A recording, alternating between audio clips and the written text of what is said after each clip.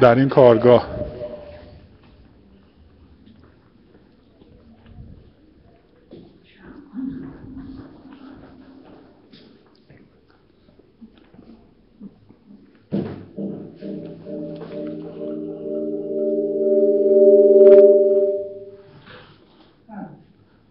تا زمانی که آقای دکتر مشکل صداشون برطرف بشه احتمالا تقاضامندم ازتون که با نام کامل خودتون وارد کارگاه بشین.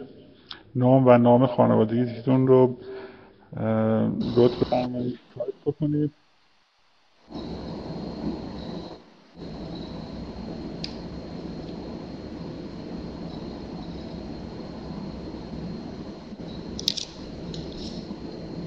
سلام و وقت بخیر. من حاصلی هستم. صدای من رو دارید؟ فکر می‌کنم که جلسه رو آقای دکتر زرقامی شروع می‌کنن. سلام از می‌کنم آقای دکتر اسدی. من رسولی هستم. با یوزر پسورد آقای دکتر زرقامی وارد کارگاه شدم. من در خدمتتون هستم. بله. آقای رسولی بس آقای زرقامی جلسه رو شروع نمی‌کنن آقای دکتر زرقامی. من شروع بکنم. درسته؟ بله بله. من هر که سلام می‌دونیم می‌تونیم شروع بکنیم ما در خدمتتون هستیم. سلامت باشید. خیلی ممنون آقای رسولی من حالا فکر می‌کردم که آقای دکتر زرقامی جلسه رو شروع بکنن. بسم الله الرحمن الرحیم. من سلام عرض می‌کنم خدمت همکاران اساتید و دانشجویان گرامی. خیلی خوشحالم که حالا به واسطه این کارگاه در خدمتتون هستم. قبل از هر چیز لازم می‌دونم که از جناب آقای دکتر زرقامی معاون محترم پژوهشی دانشکده روانشناسی و علوم تربیتی دانشگاه خارزمی تشکر بکنم که خیلی زحمت کشیدن و هم در بحث هماهنگی زمان و هم در تدارک جلسه ما رو یاری کردند اجازه بدید من وبکم رو هم فعال بکنم. الان 20 نفر. من مشاهده می‌کنم که سر این کار سر کلاس در این کارگاه حضور دارند. خب همچنین لازمه که از همکاران جناب آقای دکتر زرقامی تشکر بکنم. جناب آقای رسولی سرکار خانم ملکی که زحمات خیلی زیادی برای برگزاری این کارگاه کشیدن. خب قبل از اینکه شروع بکنیم کارگاه رو من دوست دارم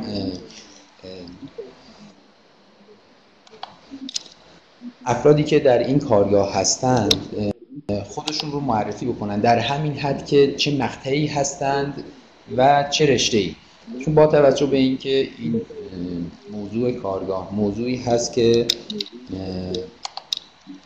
از رشته های مختلف شرکت می‌کنن و همچنین نیاز به مثال های مختلف هست من یه ذهنیتی از شرکت کنندگان داشته باشم و مثال ها رو متناسب با اون سعی بکنم که ارائه بدم خدمتتون.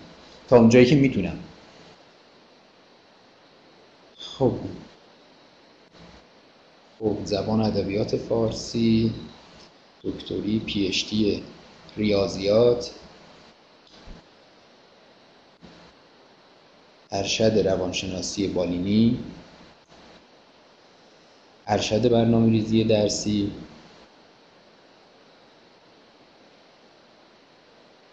مدیریت علوم ورزشی. علوم آموزشی. تکنولوژی آموزشی. ارشد تکنولوژی آموزشی.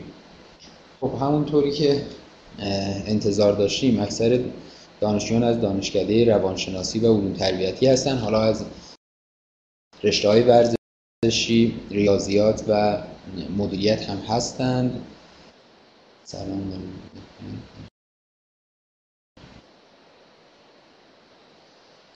خب. زبان و ادبیات عربی. ایزدی عزیز. خب حالا من سعی می‌کنم تا اونجایی که امکان داره از رشته مختلف اگر ذهنم یاری بکنه و بتونه هم مثال هایی رو خدمتتون عرض بکنم. ولی بیشتر مثال ها معطوف خواهد شد به رشته هایی که در رشته حالا روانشناسی علوم تربیتی و علم اطلاعات هستن. با توجه به حالا شناخت بیشتری که از این رشته ها دارم البته نه شناخت کامل حالا به صورت نسبی نسبت به رشته های دیگه ولی خب حالا یه بخشی رو هم در پایگاه اطلاعاتی جستجو می‌کنیم سعی می‌کنیم از کلید های مربوط به سایر رشته ها هم و دوستانی که در کارگاه هستن استفاده بکنیم.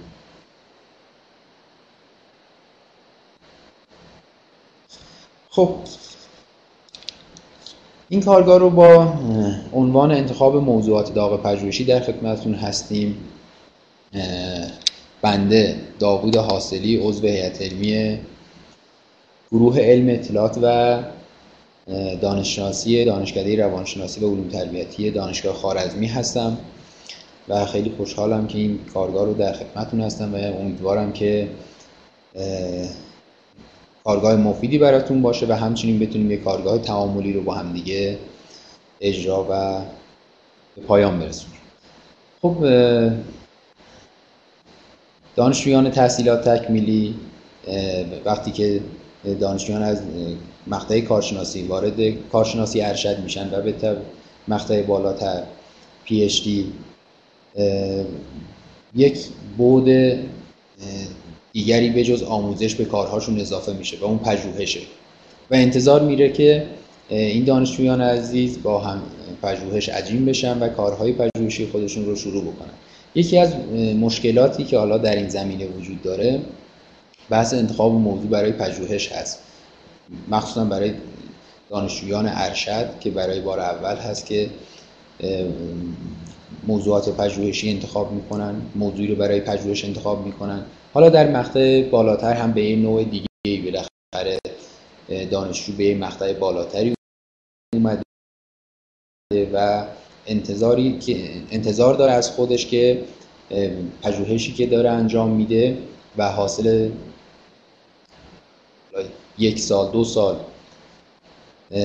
مقطع پی ایشون خواهد بود و همچنین متخصص در یه حوزه خواهد بود یک موضوع خیلی خوبی رو انتخاب بکنه و بتونه اون رو به سرانجام برسونه. خب انتخاب موضوع اولین مرحله از مراحل پژوهشه. حالا بالاخره هر فردی بخواد یه موضوع رو یک پژوهشی رو شروع بکنه باید موضوعی در نظر داشته باشه یا اینکه موضوعاتی رو بگرد و انتخاب بکنه.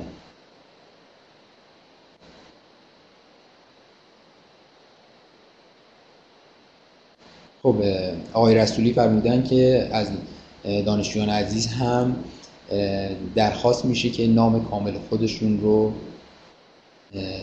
در سامان ثبت بکنن تا ما بتونیم گزارش بگیریم و گزارشات رو حالا تقدیم همکاران پژوهش در دانشکده و دانشگاه بکنیم. خب موضوع پژوهشی شاید سختترین مرحله باشه برای شروع یک پژوهش. و شاید با کل مراحل دیگه پژوهش هم برابری بکنه. حالا ممکنه این درجه سختی برای افراد مختلف هم فرق داشته باشه. حالا در یک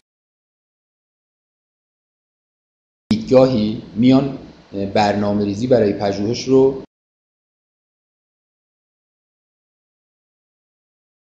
به دو بخش تقسیم می‌کنن. یکی بحث انتخاب درست انجام ولی خیلی خوبی رو انجام بدیم و بتونیم اون رو منتشر بکنیم. این هست که موضوع خوبی رو انتخاب کرده باشیم.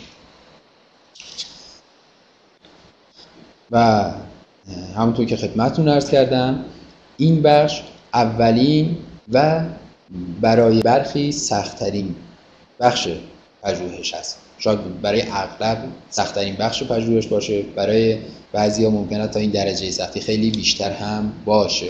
خب ببینید ما برای انتخاب موضوع پژوهش حالا اون ساختاری که طی میشه و به یک موضوع پژوهش می‌رسیم ما رشته های آموزشی پژوهشی مختلفی داریم که شما عزیزانم از رشته های مختلفی بودید. در رشته های شما هیته های پژوهشی مختلفی وجود داره. یه رشته پژوهشی چندین هیته کلی پژوهش داره. مثلا در رشته ما علم اطلاعات بحث سازماندهی اطلاعات هست سازماندهی دانش هست علم سنجی هست کتاب سنجی هست بعد کتابخانه های دیجیتال هست مدیریت کتابخانه های عمومی هست مدیریت کتابخانه های دانشگاهی هست مدیریت مراکز آرشیوی و مسائل آرشیوی هست و هیته های دیگه ای که میشه به اونها پرداخت که هر کدوم در هر کدوم از این هیته های پژوهشی ما می‌تونیم چندین و شاید بینهایت موضوع تعریف بکنیم. پس اولین قدم برای انتخاب یک موضوع این هست که شما به یک هیته پژوهشی رسیده باشید. یک هیته پژوهشی از رشته خودتون رو انتخاب کرده باشید. اگر دانشجویان ارشد حالا عزیزانی که تو این کارگاه هستن و هنوز هیته پژوهشی هیته های پژوهشی و آموزشی رشته خودشون رو نمی‌شناسند من تقاضا می‌کنم که اول جستجو بکنن ببینن در رشته خودشون چه هیته هایی وجود داره. توی رشته های مختلف مثلا ممکنه که توی روانشناسی یکی از هیته هاش بحث افسردگی باشه. توی هیته افسردگی ممکنه که پژوهش های خیلی زیادی انجام بشه و موضوعات خیلی زیادی تعریف بشه. قبل از هر چیزی شما ایزان باید ببینید که در رشته موضوع خودتون چه هیته هایی وجود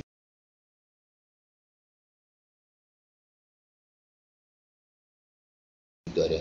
هیته ها رو یکی یکی بشناسید بعد ببینید که به کدوم ها بیشتر هستند و در اون هیته ها بیایید و متمرکز بشید. شما نمی‌تونید کل مطالب رشته خودتون رو بخونید. کل هیته ها رو کل موضوعات رشته خودتون رو بررسی بکنید و از بین اونها به یک موضوعی برسید. بهتر این هست که شما حالا یک هیته پژوهشی رو یا حد اکثر دو تا هیته پژوهشی رو در نظر داشته باشید و موضوعات اونها رو بررسی بکنید. و اولین قدم این هست که شما هیته های پژوهشی رشته خودتون رو خوب بشناسید. و یک هیتر رو یا حتی دو هیتر رو با توجه به علاقه خودتون انتخاب بکنید و مطالعات خودتون رو و انتخاب موضوع رو به اون هیته محدود بکنید. خب حالا چطوری هیته های پژوهش رو انتخاب بکنیم؟ شما اومدید جستجو کردید دیدید که هیته های پژوهشی کلی رشته های شما اینها هستند ببینید یه هدف حالا یه سوالی پیش میاد که هدف از انجام این تحقیق چیه؟ حالا گفتن این مورد شاید زیاد جالب نباشه اما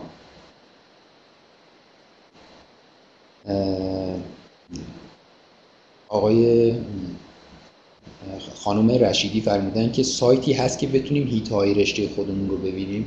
ببینید شما اینکه چه هیته هایی در رشته خودتون وجود داره سایتی نیست که بیاد بگه این هیته ها هستن. شاید مثلا پایگاه اطلاعاتی از اونها بتونید در بیارید.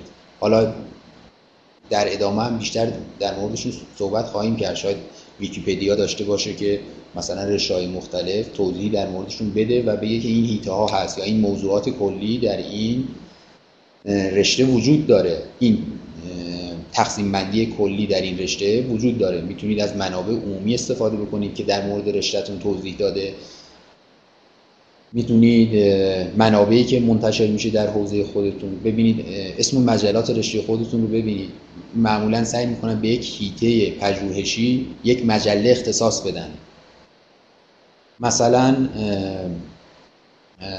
حالا تو رشته ما مجلاتی مخصوص علم سنجی هست مجلاتی مخصوص مدیریت دانش هست مجلاتی مخصوص مدیریت اطلاعات هست سازماندهی دانش مدیریت کتابخانه های عمومی مدیریت کتابخانه های دانشگاهی کتابخانه های دیجیتال.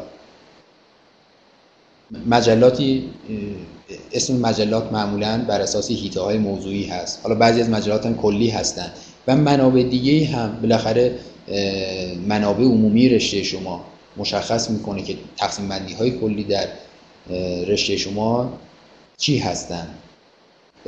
این حالا متناسب با رشته های مختلف فرق می‌کنه و تفاوت دارن با هم دیگه. مثلا بعضی از رشته ها ممکن هستن شما مراجعه بکنید به ویکیپدیا هیته پژوهشی رو کامل داشته باشه. روی بعضی از رشته ها نداشته باشه. شما مجبور بشید منابع دیگری رو بررسی بکنید. از اساتیدتون بپرسید. تخصص های اساتیدتون رو ببینید. گروه های حالا آموزشی رشته خودتون رو در دانشگاه های مختلف ببینید. ببینید افراد در چه هیته هایی دارن پژوهش می‌کنن. این موارد رو می‌تونید حالا اینها مواردی است که به ذهن من می‌رسه و می‌تونیم اینها رو مشخص بکنیم هیته های پژوهشی. هیته پژوهشی یعنی موضوعات کلی که در رشته شما وجود داره و روی اون داره کار میشه. و روی اون موضوعات کلی میشه موضوعات فرعی تعریف کرد. خب حالا علاوه بر این موارد یه سری موارد هم هست. یه سوال اینه که هدف از انجام این تحقیق چیه؟ ببینید شما می‌تونید حالا خدمتتون عرض کردم زیاد جالب نیست این رو بگیم ولی واقعیتی که وجود داره بعضی از افراد فقط اومدن یه مدرکی رو بگیرن و واسهشون زیاد مهم نیست که مثلا روی چه چیزی کار بکنن و از نظر علمی شاید واسهشون در اولویت بعدی باشه. اون که اولویت اول هست مدرکه. حالا این موارد را, را این گروه رو ما کنار می‌ذاریم. یه سری از افراد دوست دارن که مشکلات مربوط به جامعه سند دولت رو حل بکنن ببینن که چه مشکلاتی در جامعه وجود داره. یعنی دوست دارن کار خودشون یه کار کاربردی باشه که از نتایج اون بشه به صورت ملموس استفاده کرد و سازمانی یا اینکه حالا ارگانی نهادی یا اینکه دانشگاه باشه و در جای این پژوهش استفاده بشه و به قول معروف یه سری موضوعات بومی کار می‌کنن که مشکلی رو از جامعه حل بکنن. بعضی از افراد هم حالا اینها شاید به صورت جامعه شناسی بحث بشه میگن کسانی هستن که علم رو در خدمت جامعه می‌دونن. حالا پژوهش هایی که این افراد انجام میدن قراره که یه مشکلی از جامعه رو حل بکنه. یه سری افراد دیگه هم هستن که دوست دارن مقالاتشون در مجلات معتبر چاپ بشه. اینها میگن که علم برای علم حالا از نظر جامعه شناسی. میگن ما تحقیقاتی انجام میدیم و این تحقیقات رو منتشر می‌کنیم.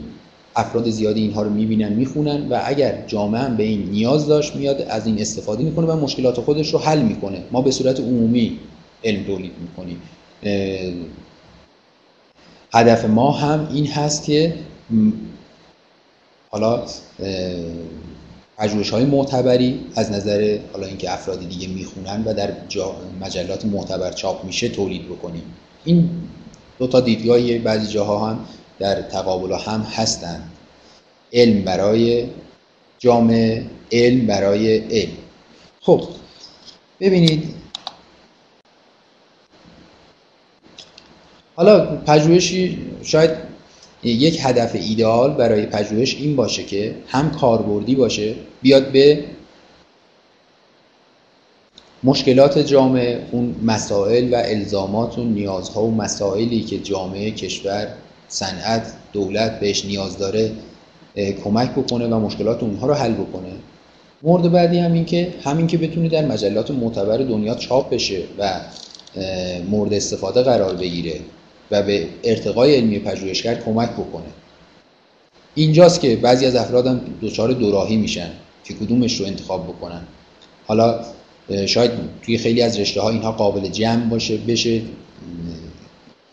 پژوهشی انجام داد که هم به حل مشکل بومی و جامعه خودمون حل بکنه و هم در مجلات معتبر چاپ بشه. ببینید حالا من یه مثال ملموس بزنم.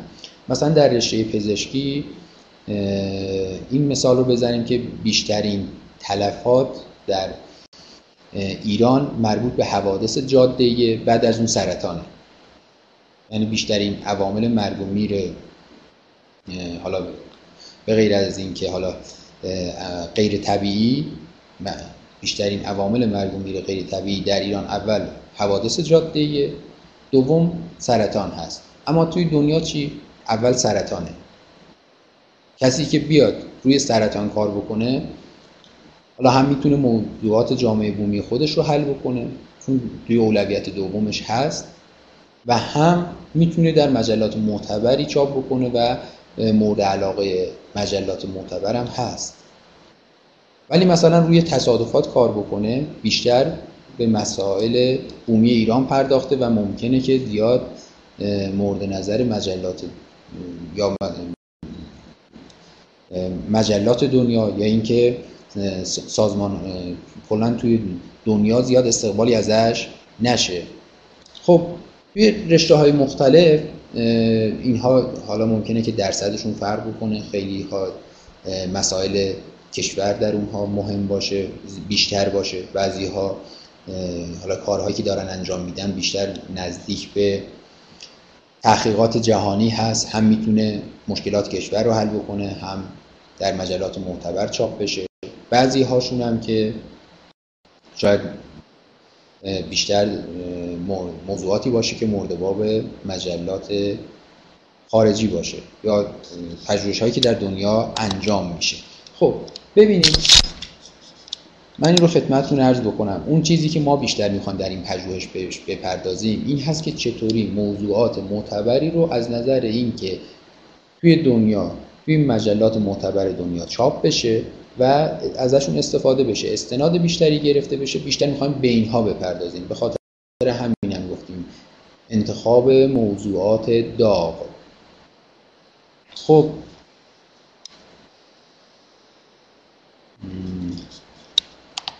من یه لحظه این ضبط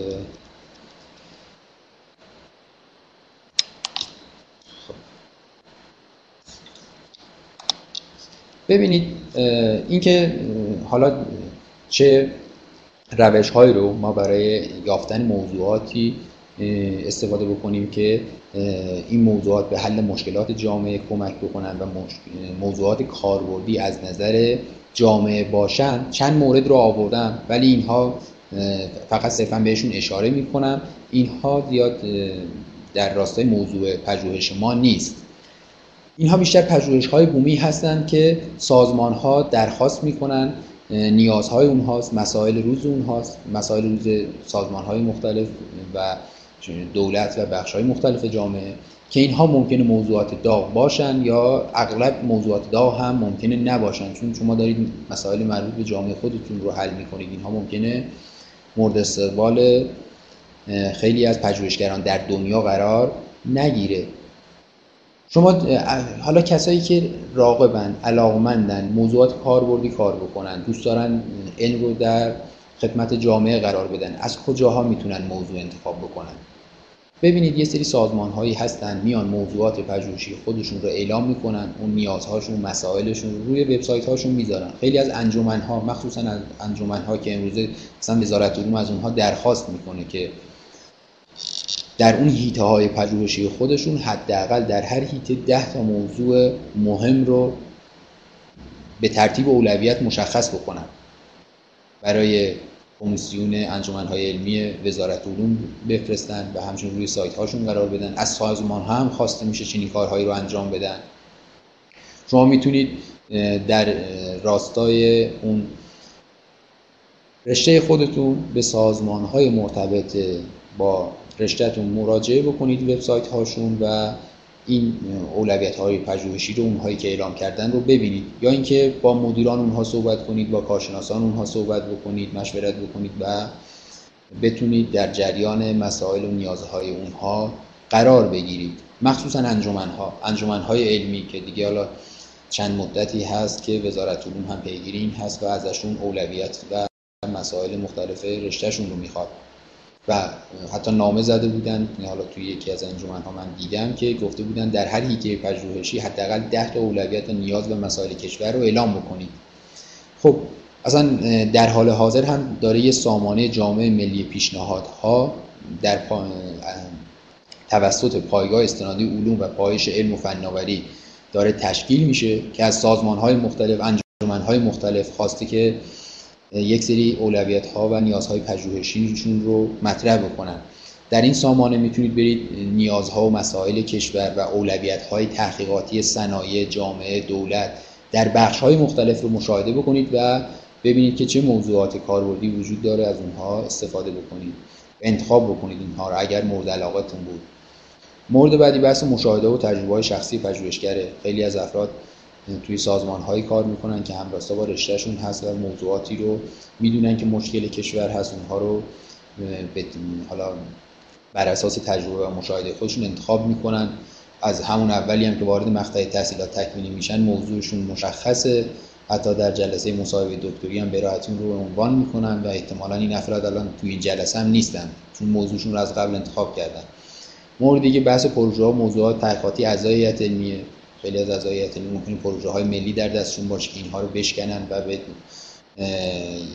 به پروژه های دانشجویی تبدیل بکنن و دانشجویان اینها رو به عهده بگیرن و در اون پروژه ها همکاری بکنن. یا خود اساتید ممکنه موضوعاتی رو داشته باشن که به دانشجویان پیشنهاد بدن و دانشجویان روی موضوعات آماده ای که استادشون از قبل مشخص کرده کار بکنن و یا روش های دیگه ممکنه موضوع انتخاب شده باشه. خب اینها مواردی بود که مربوط به انجام پژوهش های کاربردی بود. ما خیلی ساده و مختصر اینها رو معرفی کردیم. مورد بحث کارگاه امروز ما نیست. هرچند به این موارد هم میشه خیلی عمیقتر پرداخت در هر رشته روش های استخراج موضوعات رو خیلی بست داد و به فراخور و اختزا اون رشته ممکنه پیشنهادات مختلفی هم وجود داشته باشه اما اون چیزی که ما امروز داریم بیشتر می‌خوایم بهش بپردازیم این هست که چه موضوعاتی مورد علاقه مجلات معتبر دنیا یا پژوهشگران دنیا پژوهشگران دنیا چه مقالاتی رو می‌بینن؟ همون هایی هستن که مجلات بیشتر دنبال اونها هستن. اینها چه نوع پژوهش هایی هستن. منظور ما اینه که پژوهش که بیشتر دیده بشه بیشتر خوانده بشه و بیشتر استفاده بشه. استفاده یعنی چی؟ یعنی پژوهش های دیگه از اون استفاده بکنن و اون رو در منابع ماخوذشون ذکر بکنن. به قول معروف به اونها استناد بدن. استناد می‌دونید که امروز یکی از شاخص های مهم مباحث کتاب سنجی و علم سنجی و, و همچنین رتبه‌بندی افراد، سازمان ها، دانشگاه ها، کشورها، مؤسسات و مجلات و مقالات هست. اینکه مقاله ای که چاپ میشه توسط مقالات دیگه مدارک دیگه کتاب های دیگه پژوهشگران مورد استفاده قرار بگیره و بهش استناد داده بشه. یکی از پیشفرض این هست که این پژوهش ها پژوهش هایی که بیشتر بهشون استناد داده میشه. اینها پژوهش های معتبر و خوبی هستند و می‌تونن مبنای پژوهش های دیگه قرار بگیرن. آقای پاکپور پیامی فرستادن و به صورت فیمیلیش نوشتن. این ذره سخت طول می‌کشه بخونم. اگر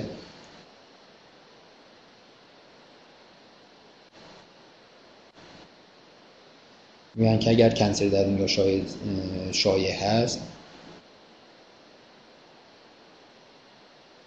متخصصان.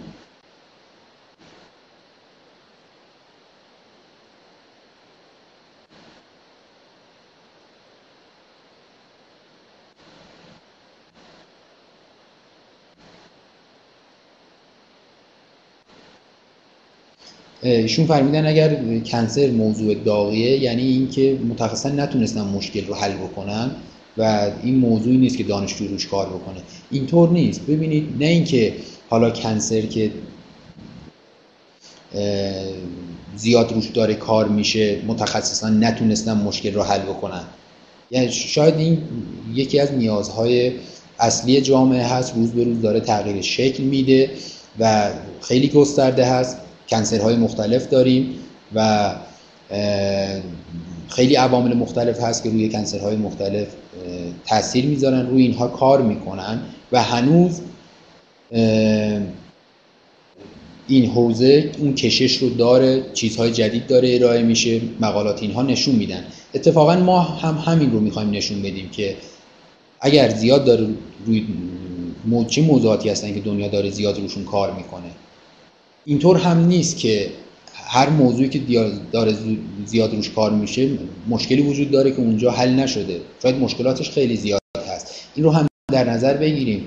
دنیا اینطوری نیست که حالا تعداد پژوهش ها در حوزه های مختلف با توجه به اینکه پژوهش یک کار زمانبر هدفمنده و اینکه نیاز به منابع مالی داره اینطور نیست که هر کسی دوست داشته باشه بیا پژوهش رو انجام بده و منتشر بکنه.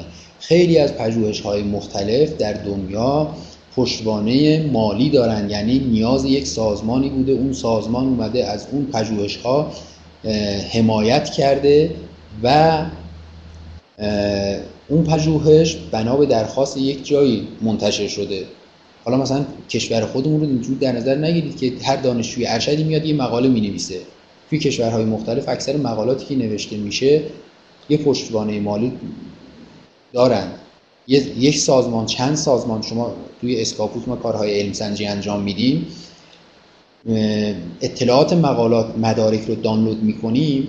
نوشته که funding یک تا پانزده یعنی 15 تا سازمان گذاشته که کدوم سازمان ها از این مدارک دارن حمایت می‌کنن. این رو در نظر بگیرید. اینکه یک مقاله منتشر میشه 15 تا سازمان از این حمایت مالی کرده. یعنی مورد درخواست 15 تا سازمان بوده. اینطور هم فکر نکنید که توی دنیا افراد بیکاری هستن پژوهش می‌کنن و این پژوهش ها همینطوری حالا یه موضوع رو به دلخواه انتخاب می‌کنن پژوهش می‌کنن روش. خیلی از اینها پروژه های تحقیقاتی هستن که سازمان ها ارائه دادن. الان من مثلا خدمتتون عرض بکنم توی رشته ما مثلا علم سنجی یکی از موضوعات داغ هست. خب یه گرایش علم سنجی داریم یه گرایش مدیریت کتابخونه های عمومی. مثلا می‌بینیم موضوعات داغ اکثرا علم سنجی هستن. یه دونه موضوع داغ توی کتابخونه عمومی وجود نداره. بعد میریم اون حمایت های اتحادیه اروپا از موضوعات مختلف رو می‌بینیم. می‌بینیم که هر ساله اتحادیه اروپا یه سری پروژه های میلیون دلار یورویی رو توی حوزه علمسنجی انجام داده. محققان خیلی زیادی از کشورهای مختلف باشون قرارداد بسته دارن روی این موضوعات کار می‌کنن. ولی علمسنجی ولی کتابخونه های عمومی از سال 2007 به اینور یک یورو هم خرج نکرده. بعد این رو میایم توی تحقیقات می‌بینیم. توی تحقیقات می‌بینیم که نتایج پروژه های علم سنجی خیلی زیادن. بعد توی این هیته پژوهشی که سازمان ها دارن حمایت می‌کنن پول گذاشتن هزینه کردن تحقیقات هم زیاده. ولی یه سری موارد دیگه هم هست که شاید خیلی هم مهم باشن اما در اونها پول نیست هزینه نیست و تحقیقات هم خیلی کمه. این رو توی استنادهاتشون هم می‌بینیم. تحقیقات که زیاد باشه استنادها بیشتر میشه تحقیقاتی که کیفیتر باشن بهتر باشن معتبرتر باشن استناد بیشتری می‌گیرن. و بعضی از هیت ها اینطور نیستن و توی بعضی از هیت های دیگه پژوهش هایی که میاد انجام میشه چون پشتوانه مالی نداره چون جامعه زیاد اون رو درخواست نمی‌کنه چه اتفاقی میفته تعداد انتشارات کمه تعداد استنادها هم کمه. خب اون چیزی که ما می‌خوایم بهش بپردازیم بحث استناد هاست. حالا ببینید من نمی‌خوام بگم که تو این دوراهی که خدمتتون عرض کردم اگر ما بریم به سمت انتشار نتایج مجلات انتشار نتایج در مجلات معتبر بهتر از این هست که بریم مسائل بومی کشور خودمون رو حل بکنیم. من می‌خوام اینجا بگم که ممکنه که برخی از افراد دوست داشته باشن که مجلات در مجلات معتبرتری مقالات خودشون رو منتشر بکنن من دارم برای این افراد راهکار ارائه میدم. حالا اونهایی هم که دوست دارن پژوهش های بومی و کاربردی انجام بدن یه سری مسائل رو خدمتشون عرض کردم ولی این افراد دیگه از این به بعد نمی‌تونن بیشتر از این از این کارگاه استفاده بکنن و باید جاهای دیگه دنبال موضوع باشن. من نمی‌خوام بگم کدومی که از اینها بهتر هست صرفا می‌خوام بگم اونهایی که دوست دارن.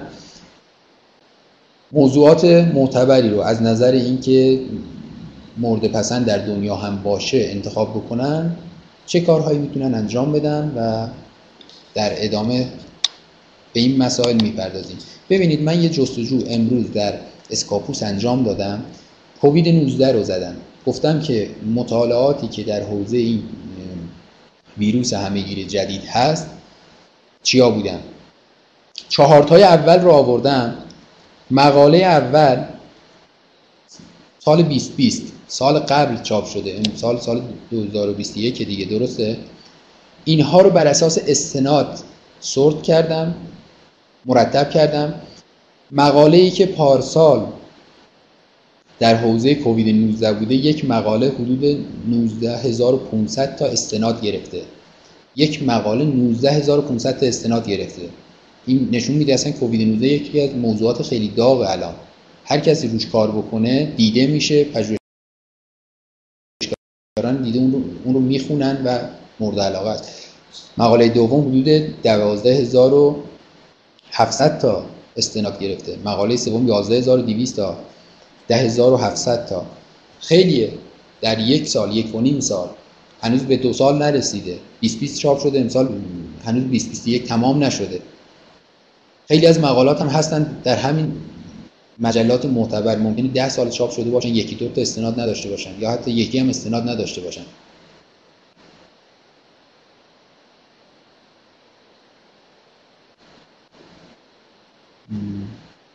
آقای پارکوف فرمودن علم سنجی به نه چی؟ به نظر می‌رسه و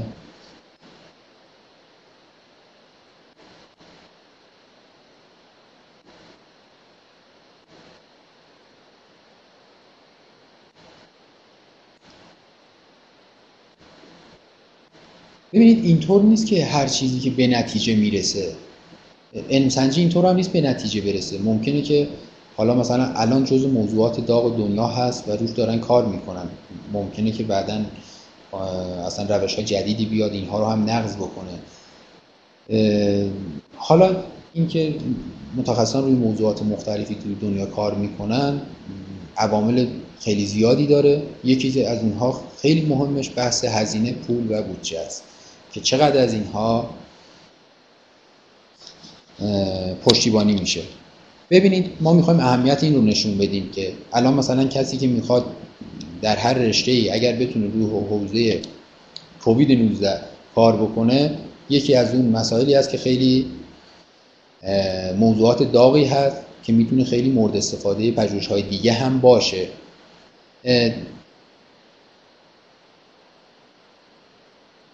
صدا ضعیفه صدا رو ببریم بالا. ببینید صدای سیستم من حد اکثره. من تنها کاری که می‌تونم بکنم این هست که صدای خودم رو ببرم بالا. الان خوب هست؟ آره ببینید واقعیت اینه که بالاخره ساعتم یه ساعتیه که کم کم تون صدا میاد پایین. اگر تون صدای من اومد پایین شما لطف بکنید و این رو به من تذکر بدهید که صدا رو ببرم بالا. خب. ببینید حالا که بحث استناد پیش اومد یعنی اینکه مقالاتی میان یه سری مقالات دیگر رو مقالاتی میان از یه سری مقالات دیگه استفاده می‌کنن و اون رو توی منابع ماخذ خودشون میارن یعنی استناد میدن به یه مقاله دیگه. یا اینکه میگیم یه مقاله توسط مقالات دیگه مورد استفاده قرار گرفته. و بهش استناد داده شده.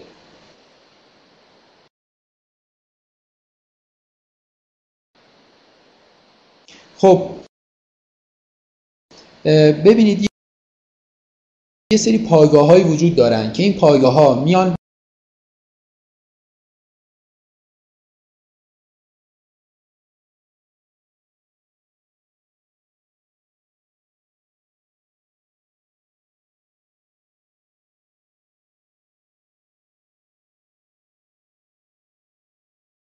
آدرسش وب نالجه.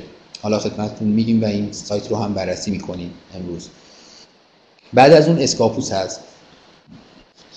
ببینید ما می‌خوایم توی پایگاه Web of Science ببینیم که چه موضوعاتی بیشترین استنادها رو دریافت کردن. اگر می‌خوایم موضوع انتخاب بکنیم بیایم ببینیم که اونهایی که دوست دارن ببینن چه موضوعاتی بیشتر در دنیا دیده میشه بهشون استناد میشه مورد استفاده قرار می‌گیرن. از نظر مجلات معتبر هست از نظر استناد در رتبه های بالایی قرار داره پیدا بکنن. این رو ما الان از پایگاه Web of Science استفاده می‌کنیم. خب ببینید من از این به بعد دیگه فعلا این فایل رو قطع می‌کنم. دسکتاپ خودم رو share می‌کنم و انشالله در پایگاه Web of Science جستجو می‌کنیم. خب من share screen بزنم. بزنم. این خب ببینید پایگاه Web of Science شما چطوری می‌تونید به این دسترسی داشته باشید؟ متاسفانه از زمانی که تحریم ها علیه ایران شکل گرفته پایگاه Web of Science دیگه ایران نتونید چون با توجه که پایگاه Web of Science در آمریکا هست ایران نتونسته دانشگاه های ایرانی نتونستن حق عضویت رو بپردازن. حالا اکثر دانشگاه ها و در اکثر دانشگاه ها قطع شده. حالا پایگاه اسکاپوس برای اروپا از کشور هلند می‌تونن به اروپا پول رو برسونن و اشتراکش هنوز هست در دانشگاه ما خوارزمی اما پایگاه Web of Science یکی دو ساله که تحریم ها که شدت گرفت این هم اشتراکش قطع شد. اما یک سایت وجود داره به اسم یابش.ir این یابش.ir رو شما می‌تونید برید اونجا ثبت نام بکنید. یک سری پایگاه های آنلاین یابش داره. این در این بخش پایگاه های آنلاین یابش اومده گفته که ما سعی می‌کنیم یه سری پایگاه اطلاعاتی که در ایران دسترسی بهش وجود نداره رو در اختیار افراد قرار بدیم. اونهایی که می‌تونن بخرن ولی دسترسی رایگان هم به این وجود داره ولی اونهایی که می‌تونن بخرن و یک هزینه بدن که این پایگاه هم بتونه به کارش ادامه بده. حالا این پایگاه Web Science رایگان رو فعلا کلیک کردم من. خب. ببینید تو این پایگاه بذارید من یه بار دیگه بزنم. من میترسیدم بعضی مواقع می‌بینیم پایگاه چند روز کار می‌کنه چند روز کار نمی‌کنه. حالا از شانس ما امروز صبح که کار می‌کرد انشالله الان هم کار بکنه. خب. می‌خوام اینجا ببینید شما رشته های خودتون رو اگر بنویسید من از اونها استفاده می‌کنم و کلید واژه ها و موضوعایی که مورد نظرتون هست جستجو می‌کنم. این یه basic search داره.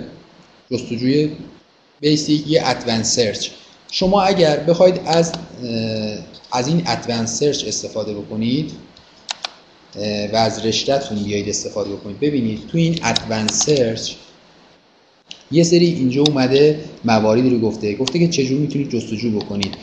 یه راهنمایی داره. خب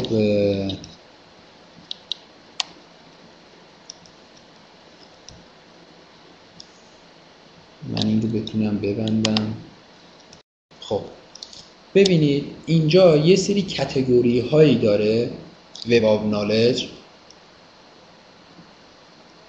یه سری کتگوری هایی داره که از این, این کتگوری ها بیشتر رشته ها هستند. شما می‌تونید بیاید رشته های خودتون رو از اینجا پیدا بکنید جستجو بکنید و ببینید که چه مقالاتی در اونها بیشترین استنادات رو دارند. خب من این رو این کتگوری رو فعلا باز کردم. خب ببینید یه سری چیزها هست اینجا.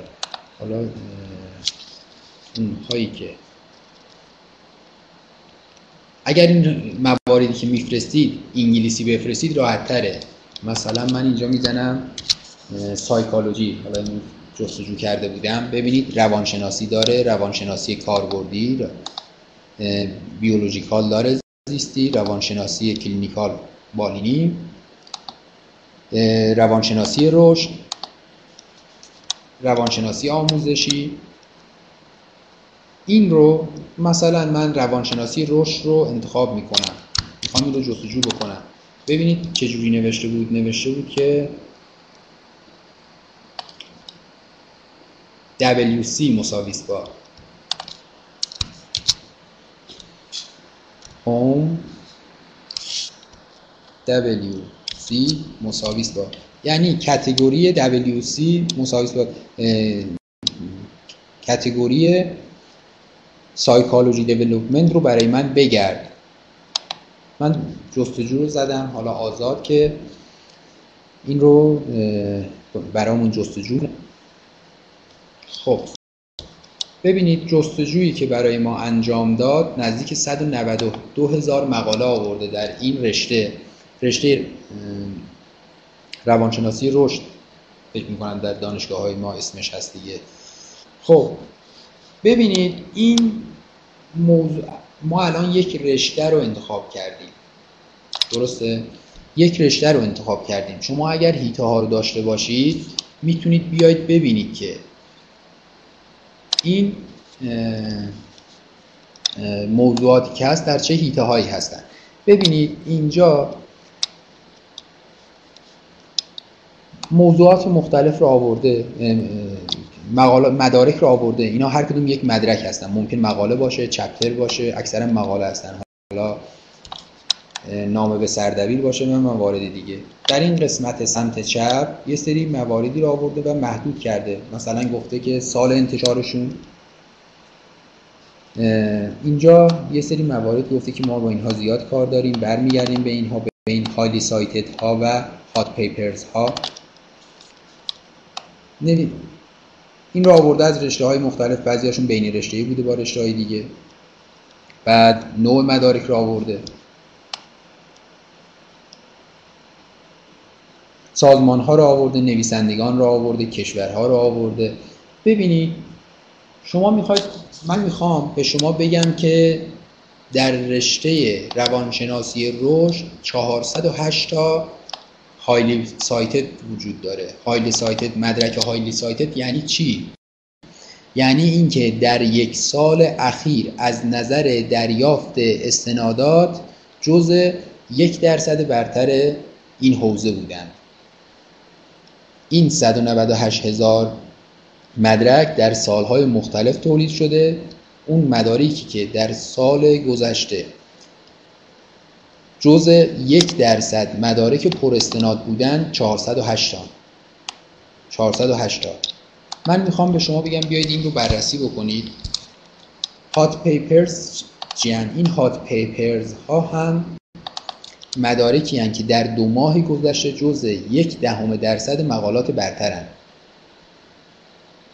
حالا اینها خیلی تعدادشون کمه ازش صرف نظر می‌کنیم. این هایلی سایتد ها رو مدارکی که در یک سال گذشته جز یک درصد برتر مقالات مدارک از نظر دریافت استنادات بوده.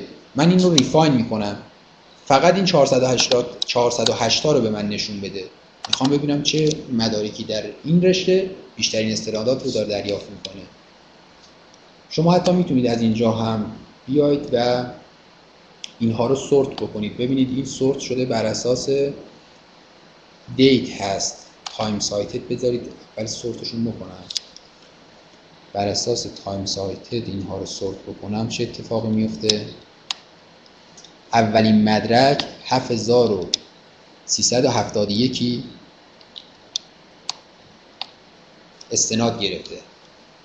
چه سالی منتشر شده؟ 1997 حالا شما می‌تونید اینها رو هم بررسی بکنید. اونهایی که بیشترین استنادات رو دارن البته اینهایی که بیشترین استنادات رو دارن از اونجایی که استناد مبتنی بر زمان هست هرچه از زمان چاپ مقاله بیشتر بگذره بیشتر استناد دریافت می‌کنه اکثرا قدیمی هستن. البته همین رو هم می‌تونید شما بیاید و محدود بکنید. بگید به پنج سال اخیر. در پنج سال اخیر ببینید. می‌تونید بگید که در پنج سال اخیر در این حوزه چه مقالاتی چاپ شده. حالا 2022 رو ما حساب نمی کنیم چون زود آیندن از 2017 6 سال رو در نظر می‌گیریم. ببینید. چند تا مقاله داشته این رشته؟ حالا ما 45 حدود 46 هزار تا مقاله داشته. اونهایی که بیشترین استناد رو داشتن مدرکی بوده که در سال 2017 حدود هزار تعداد 1866 تا استناد داره. دومیش رو ببینید 620 تاست. یعنی این تقریبا یک سوم میشه. این موضوع یکی از موضوعات هات این رشته هست. موضوعات خیلی داغ هست و استناد خیلی زیادی داره می‌گیره و اختلافش با این یکی هم خیلی زیاده. البته این مورد دوم و سوم جزء مقالات هایلی پیپر در یک سال اخیر بودن. در یک سال اخیر این هایلی پیپر ها حتی از این هم بیشتر استناد دریافت کردن.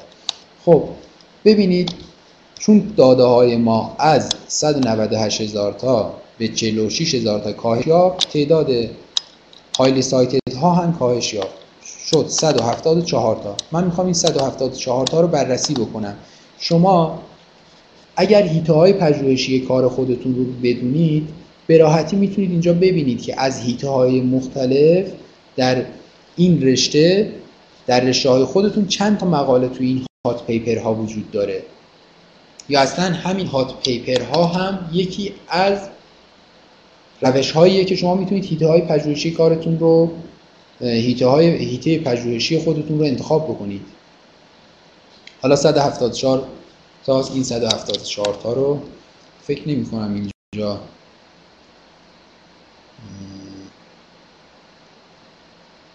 ببینید اینجا حالا بخوایم موضوعاتشون بررسی بکنیم. روانشناسی رشده 174 تا 69 تاش.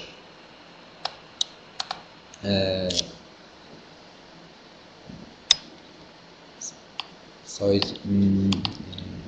45 تاست که مربوط به کودکان هست Pediatrics. این Psychiatric دقیقا معادل فارسیش رو نمی‌دونم چی هست. حالا بچه های روانشناسی اگر بدونن مثلا پدیاتریکس 45 تاش در حوزه کودکان انجام شده. مثلا این نشون میده که روانشناسی رشد تو حوزه کودکان بیشتر داره انجام میشه. و می‌تونن از این موضوعات انتخاب از این موضوعات در نظر بگیرن. حتی من خودم روانپزشکی حوزه روانپزشکیه که اکثرا احتمالا در حوزه پزشکی تولید شده.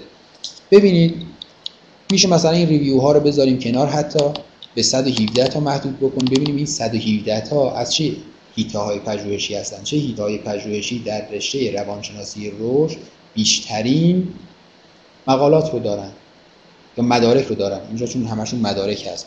این ریویو ها رو بذاریم کنار چون ریویو ها مقالات ریویویی همیشه استناد بیشتری می‌گیرن. این طبیعیه. شما به راحتی می‌تونید با بررسی 100 تا مقاله عنوانشون به راحتی در بیارید که کدوم هیته پژوهشی رو در قدم اول انتخاب بکنید. شما می‌تونید حالا میریم اینجا کتگوری های بیشتری رو هم ببینیم. هم می‌تونید مقالات رو بررسی بکنید یا اینکه می‌تونن این کتگوری ها هم به شما کمک بکنن. سایکولوژی روانشناسی آموزشی Public Environmental Occupational Health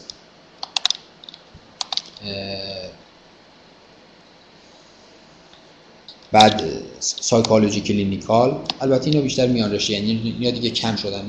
می‌تونید این موارد رو بررسی بکنید به عنوان حیطه های پژوهشی خودتون انتخاب بکنید و مقالات همونها رو بررسی بکنید. پس اون افرادی که دوست می‌خوان که حیطه های پژوهشی داغ رشته خودشون رو انتخاب بکنن از اینجا می‌تونن انتخاب بکنن.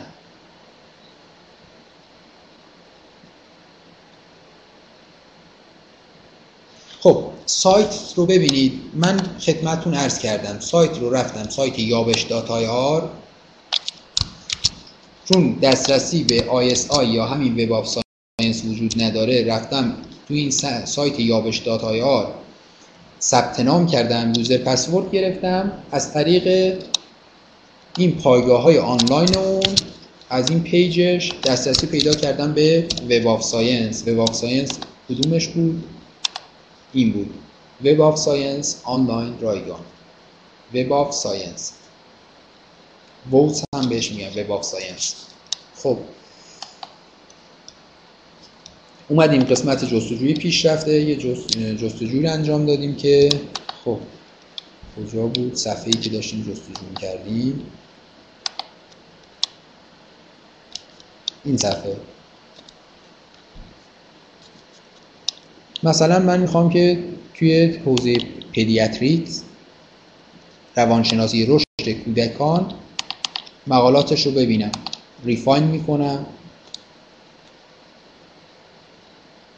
فرض بر این که من علاقه دارم به روانشناسی رشد کودکان و این یکی از هیته های کلی این رشته هست.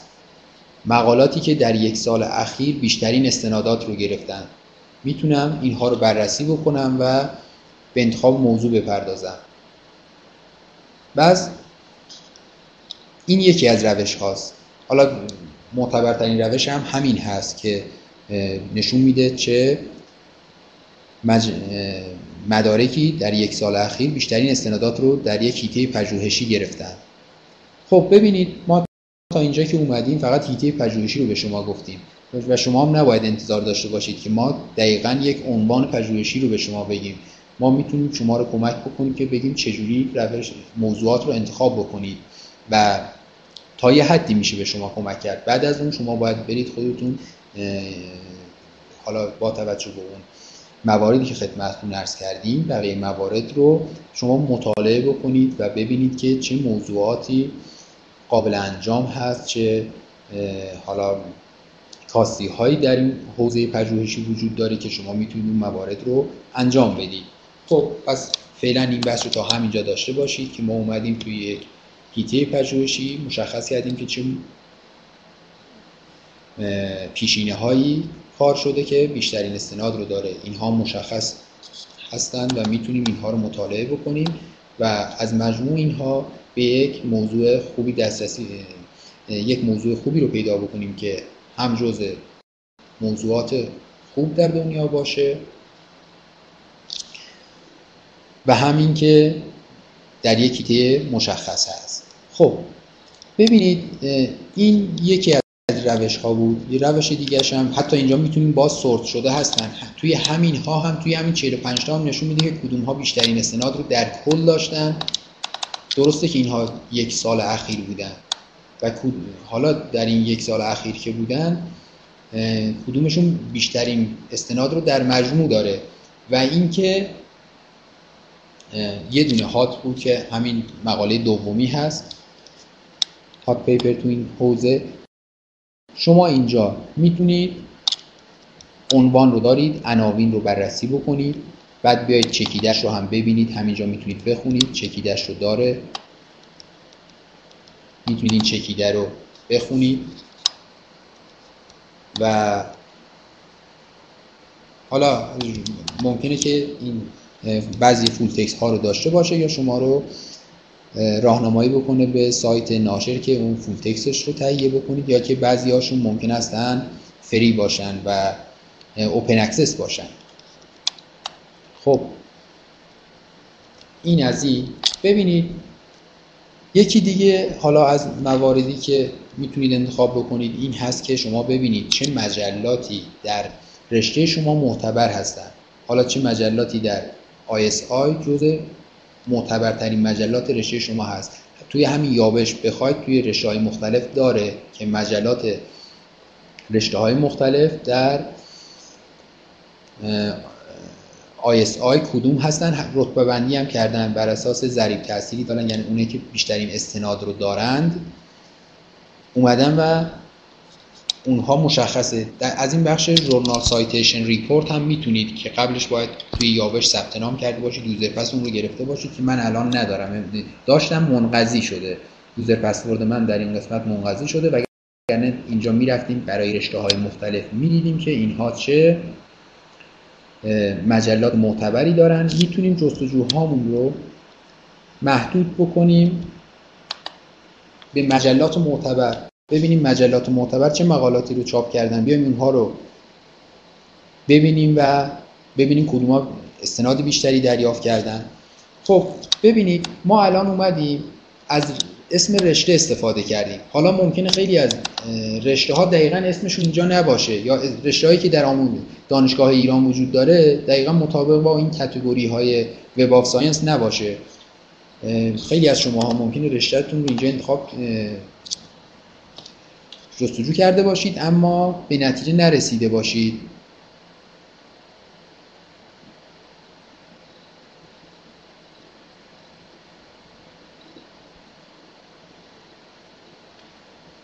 آموزش ابتدایی. ببینید خود آموزش ابتدایی رشته هست یا یه هیته های پژوهشی یکی از رشته های علوم تربیتیه. من این رو دقیقا نمی‌دونم. ببینید اینجا مثلا ممکنه همه رشته ها وجود نداشته باشه. حالا رشته های دیگه هم که هست اکثر رشته های مهم هستن ولی بعضی از رشته ها ممکنه وجود نداشته باشه. شما به طریق دیگه ای باید اونها رو بگردید. اگر هیته پژوهشی خودتون رو بدونید مثلا sport management بذارید من اسپورت رو اینجا جستجو بکنم. خب sport science. sport science داره. یه اسپورت دیگه transportation که نه. خب دو تا داره یکی sport science یکی هم hospitality leisure sport این که بحث تفریح و توریسم و این‌هاست حالا sport science رو بزنیم. cognitive science فکر نکنم اینجا باشه. همون علوم شناختی میشه علوم اجتماعی بیشتر. احتمالا توی بحث علوم روانشناسی و علوم اجتماعی این بحث cognitive باشه. Educational تکنولوژی ببینیم این رشته وجود داره.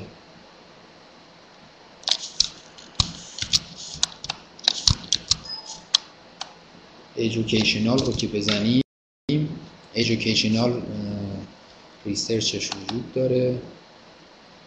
روانشناسی آموزش هست اما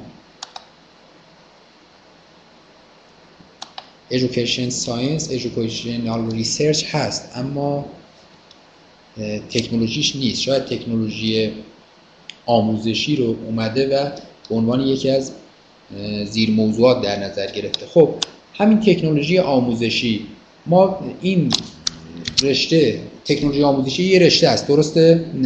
جناب آقای حاجی. خب این رشته اما اینجا وجود نداره. ما می‌خوایم اینجا جستجو بکنیم. توی basic basic search جستجوی سادهش می‌تونیم بگیم که مثلا topic مقالاتی که educational technology topic مقالاتی که educational هستن. یا مثلا اونهایی که ایژوکیشنال تکنولوژی در تاپیکشون عنوانشون و ابسترکتشون هست. ببینید 51 هزار تا آورده که از این 51 هزار تا 112 تا هایلی سایتد هن. شما می‌تونید این هایلی سایتد ها رو کلیک بکنید روشون مطالعه بکنید ببینید که این های سایتد های تکنولوژی آموزشی چه مقالاتی. چه موضوعاتی هستند ممکنه از همین جا بتونید اون هیته های پژوهشی رو که قبلا می‌دونستید ببینید که چه چند تا مدارک در اون هیته های پژوهشی وجود داره. حالا فردی که با اسم مهمان آمدن بحث برنامه درسی رو مطرح کردن.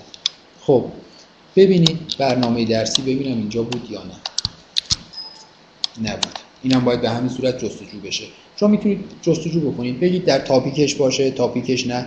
تاپیک عنوان و این 112 تا رو می‌تونید بررسی بکنید. ببینید چه سالهایی بوده. اگر زیاده نمی‌تونید بررسی بکنید. سالهاشو کمتر بکنید. بگید سالیان اخیر. مثلا از سال پنج سال اخیر. تعداد پنج سال اخیرش خیلی کمتر میشه. به می‌تونید این موارد رو بیایید و محدود بکنید. از این گزینه هایی که در قسمت سمت چپ هست استفاده بکنید. حتی کتگوری های ریزتر اینها رو ببینید. 20 تا مدرک در این کتگوری وجود داره. Education educational research education scientific discipline. ممکنه اینها زیاد کمک کننده نباشه. شما مجبور بشید که مقالات رو بخونید. ولی خب دیگه حالا دیگه ما تا اینجا داریم با شما رو کمک می‌کنیم. بعد از این دیگه برمیگرده به اون صرف زمان و زمانی که شما صرف می‌کنید و دقتی که در بررسی این عناوین به خرج می‌دید.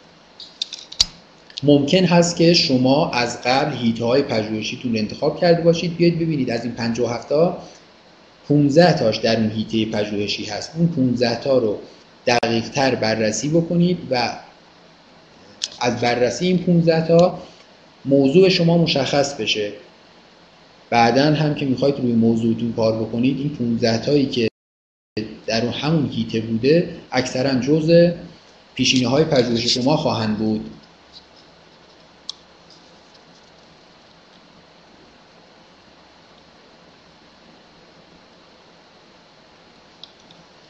بچه ها بعضی موقع سوالاتی مطرح می‌کنن. این سوالات عمومی که فعلا در راستای مطالب نیست بمونه برای آخر جلسه انشالله اینها رو هم پاسخ خواهیم داد.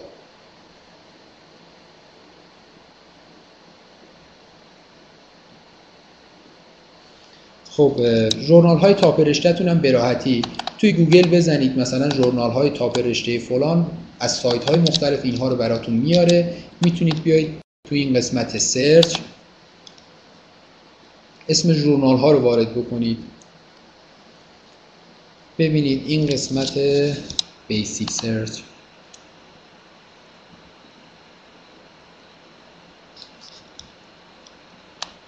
خب. ببینید اینجا topic داره title داره. title چه چیزیه؟ title مدارک هست. مقاله. کتاب نویسندگانش publication name publication name چیه؟ همون اسم انتشارات هست. سالش اون چیزی که زیاد استفاده میشه.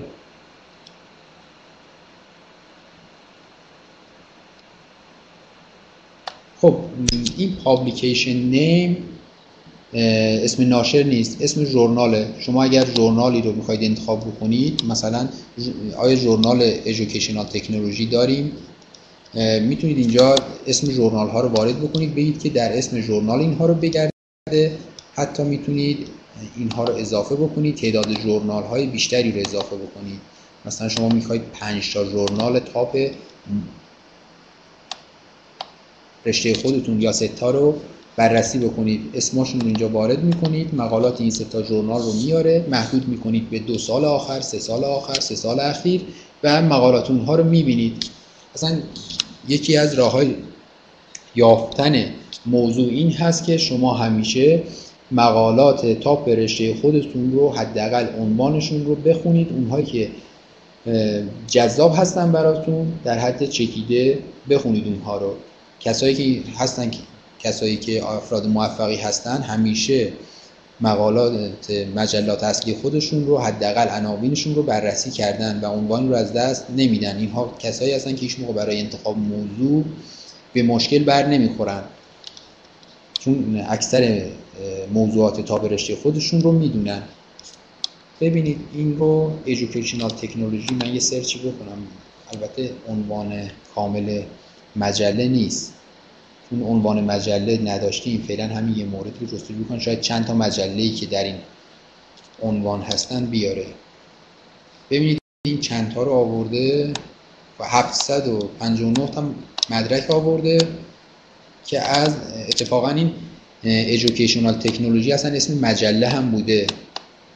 مجله ای که اما هیچ مقاله های سایتدی نداره. ولی جزء مجلات برتر نیست. چون مجلاتی که سایتشن بیشتری بگیریم بیشترین مقاله‌ای که ازش سایتشن گرفته 23 تا جزء مجلات پایین این رشته هست و هایلی سایتد هم نداره. اما مجلات معتبر رو شما بزنید برای شما هایلی سایتد ها رو میاره. خب ببینید اگر جستجوی بیشتری لازم هست کلید واژه بدید جستجو رو کنیم ببینیم به چه صورت هست. بعد از این بریم سایت اسکاپوس رو هم ببینیم.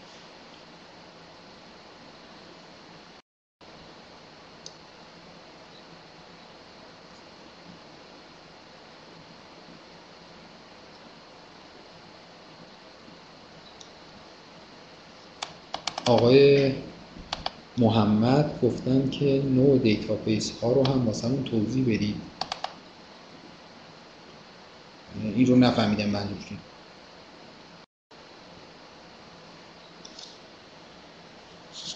خب نوع database منظورتون این database های انتخابی در اینجا بود Web of Science Core Collection اینها منظورتون هست درسته؟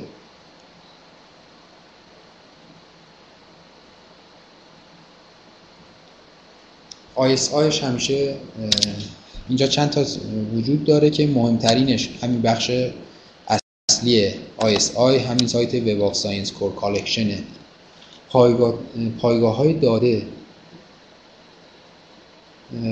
من نمی‌دونم منظورتون از پایگاه های داده چیز داره. شفافتر بگید. خب ببینید این پایگاه ISI که پایگاه ISI معتبرترین پایگاه استنادی دنیاست. بعد از این پایگاه اسکاپوسه که پایگاه اسکاپوس بزرگترین هست.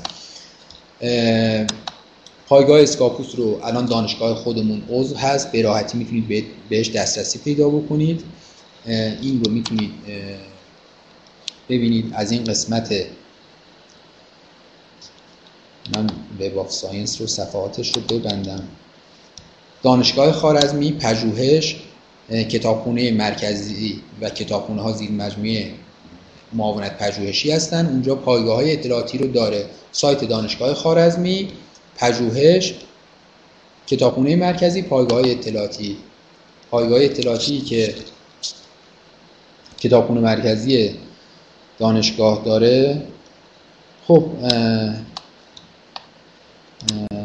آقای محمد.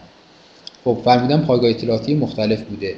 ببینید پایگاه اطلاعاتی حالا چند تایی که داخلی هستن ScienceDirect و Scopus. ScienceDirect و Scopus هر دو از یک ناشرن. ناشر هلندی Elsevier Scopus سایت استنادیش هست. یعنی ScienceDirect خود مقالات رو داره و ما Scopus مهم براش اینه که مقالات مختلف دنیا که چاپ میشه از مجلات مختلف میاره و اون بحث استنادات رو ارجاعات رو برقرار می‌کنه.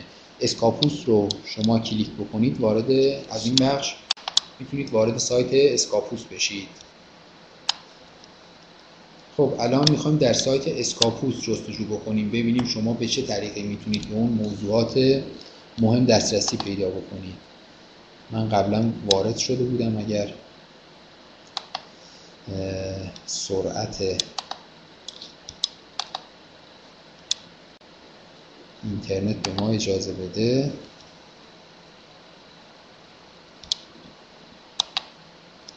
خب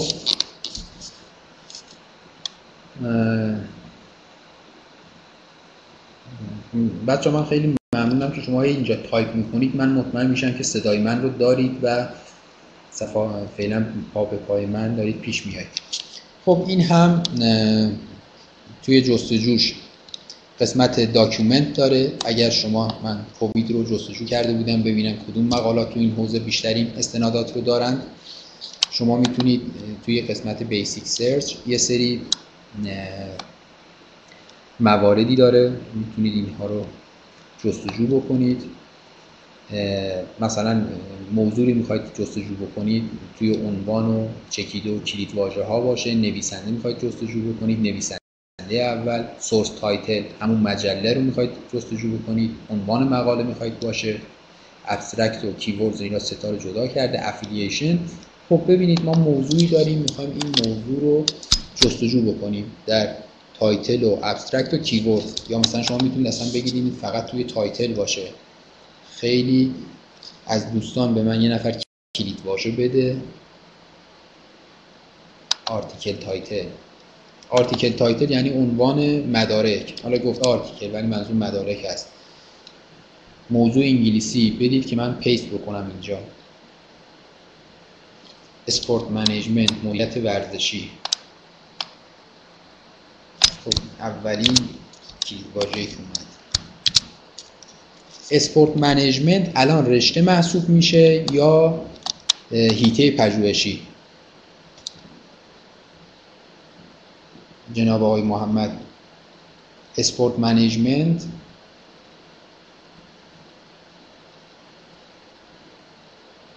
هر دو. اگر رشته باشه که خودش می‌تونه چندین هیته داشته باشه مدیریت ورزشی بالاخره الان ما جستجویی که انجام دادیم اینجا. ببینید اسکاپوس نزدیک 1800 تا واسه ما مدرک آورده.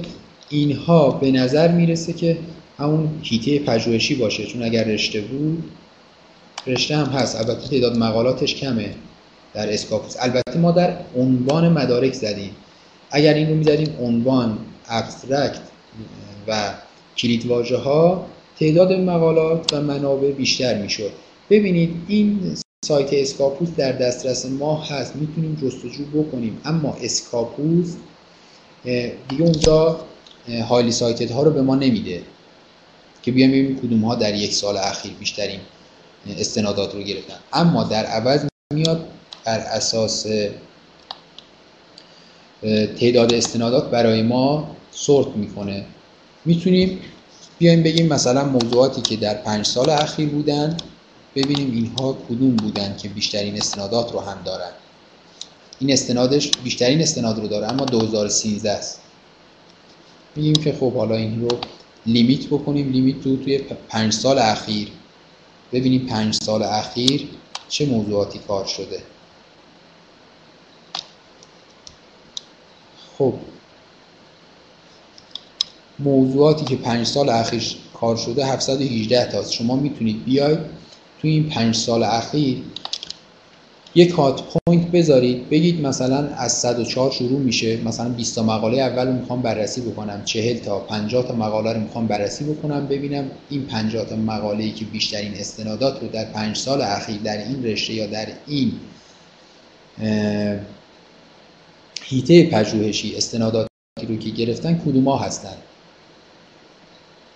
اگر هیته باشه تعداد مقالات کمتری می‌تونید انتخاب بکنید.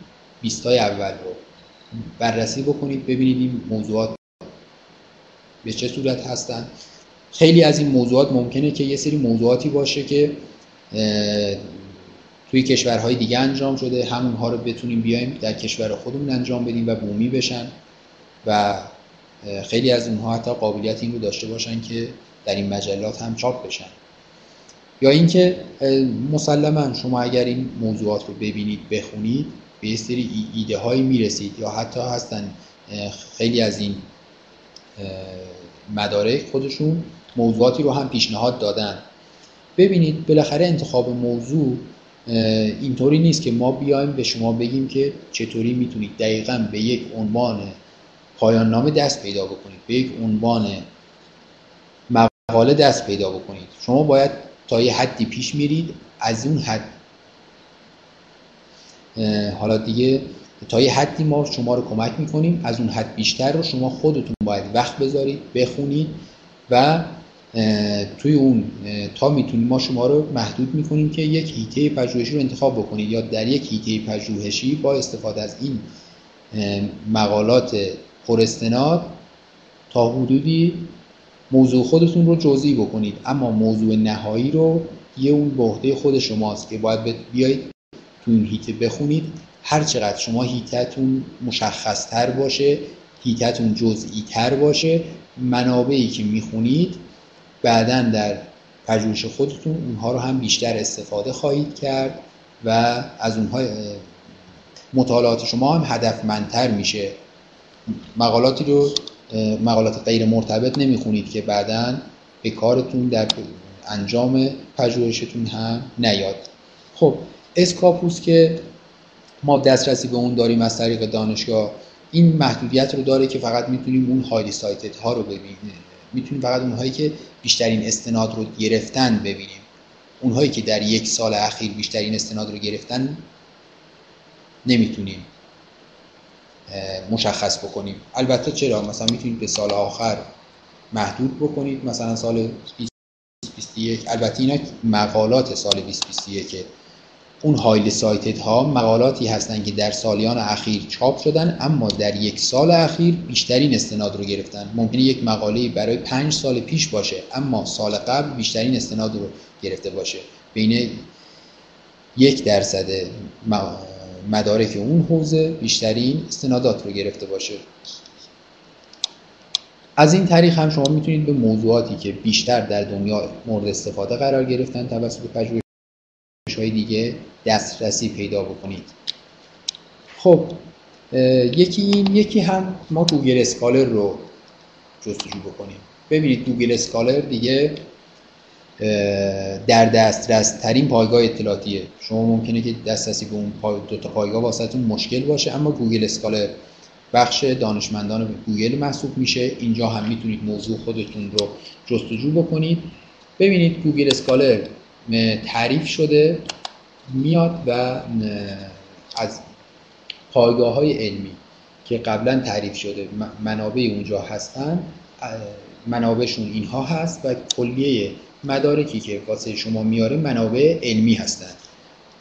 و بخش علمی Google Scholar محسوب میشه.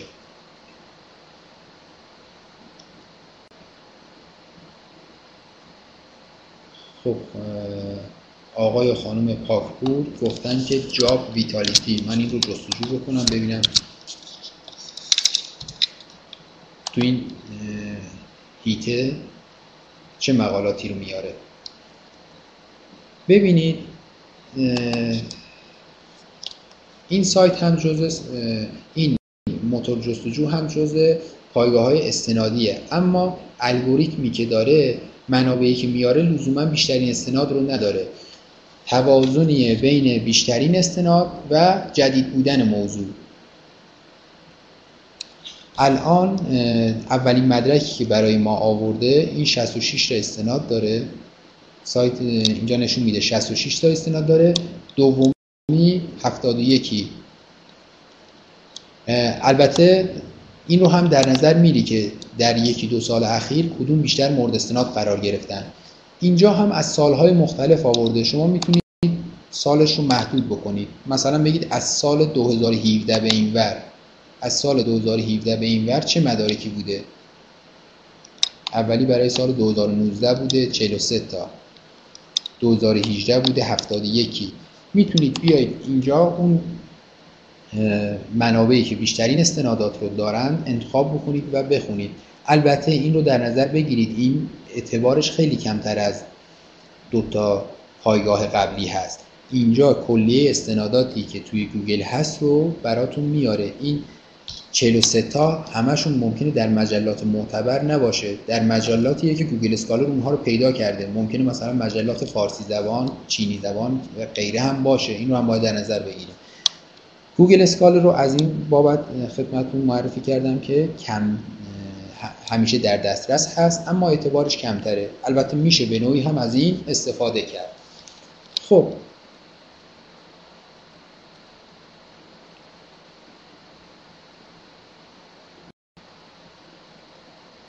خب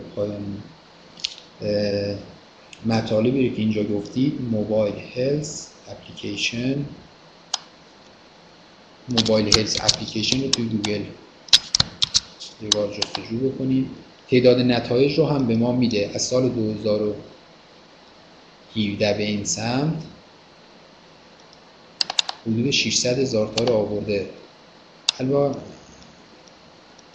البته اونهایی که یکی دو صفحه اول هستن مطالب خیلی پر استناد هستن که شما می‌تونید انتخاب بکنید. 85 38 33 تعداد استنادات تو این حوزه زیاد نیست. ببینید این استناداتی که دریافت میشه توسط مقالات دو تا چیز رو نشون میده. وقتی که استنادات یک مقاله بیشتر هست یعنی اینکه اون مقاله بیشتر توسط افراد دیگه دیده شده مرتبط تشخیص داده شده و مقاله معتبری تشخیص داده شده. این یکی یعنی خودش اعتبار داره. دوم اینکه این مقاله در یک حوزه کار شده که افراد زیادی دارن روی این موضوع کار می‌کنن روی ابعاد مختلف این موضوع.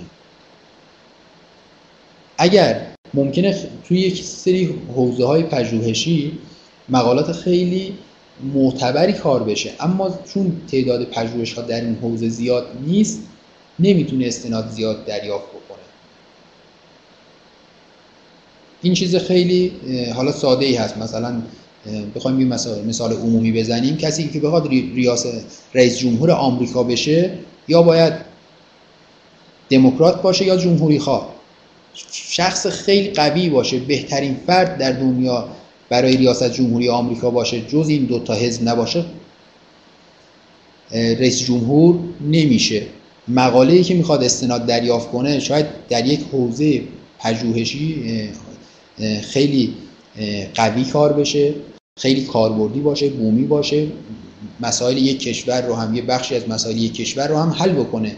اما کسی در این حوزه پژوهش نکنه پژوهش های مرتبط دیگه ای نباشه اون استناد نمی‌گیره دیده نمیشه.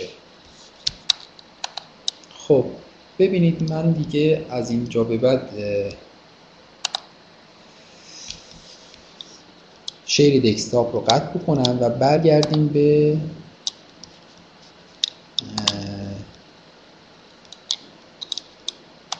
برگردیم به فایل خودمون. و همچنین سوالات شما عزیزان.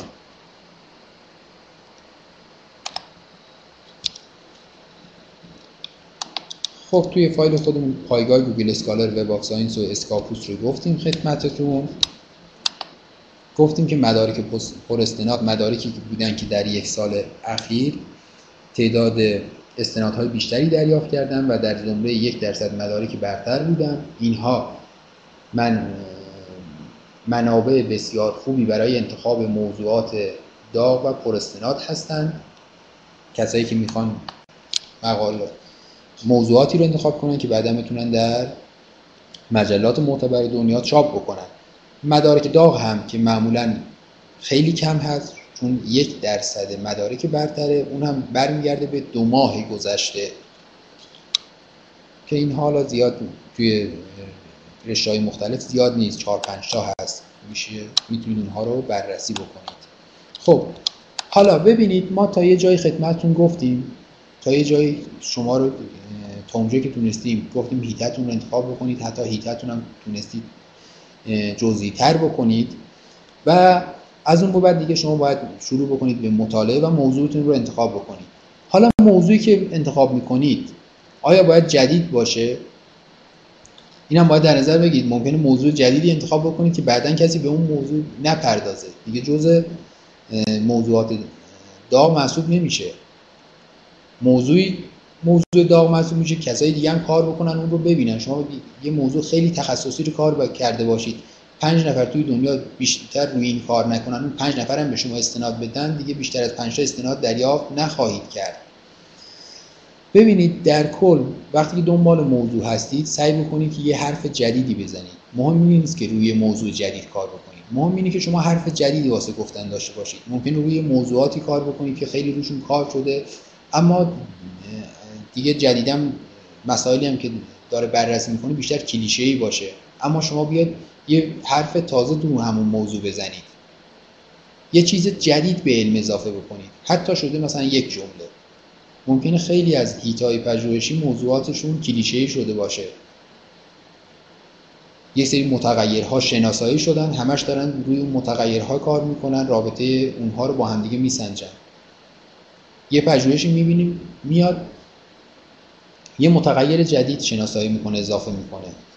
حرف جدید می‌زنه. از اون به بعد کسایی که این متغیر رو در اون پژوهش ها در نظر بگیرن به این پژوهش استناد خواهند کرد. مثلا روی سرطان خیلی کار شده. ممکنه یکی بیاد بگه که آیا خوردن چای داغ روی سرطان تاثیر می‌ذاره؟ ممکنه کسی تا این رو بررسی نکرده باشه. بیاد این رو بررسی بکنه. به یه جمله برسه. مصرف چای داغ میزان ابتلا به سرطان رو افزایش می‌دهد. ممکنه برای همین دو سه سال پژوهش بکنه. برای همین حرف جدید که قبلا بررسی نشده. مهم اینه که شما حرف جدید بزنید. ممکنه موضوعات روی موضوعات قدیمی هم کار بکنید اما با روش جدید با رویکرد جدید و منجر به تولید متون جدیدی بشه. نتیجه جدیدی به دست بیاد. خب بچه شما اینجا دارید. می نویسید من جا موندم اینها رو بخونم. شما که فینگلیش می نویسید یه ذره سخته خوندنشون. برای subject پایان نامه سایت خواستند. بعد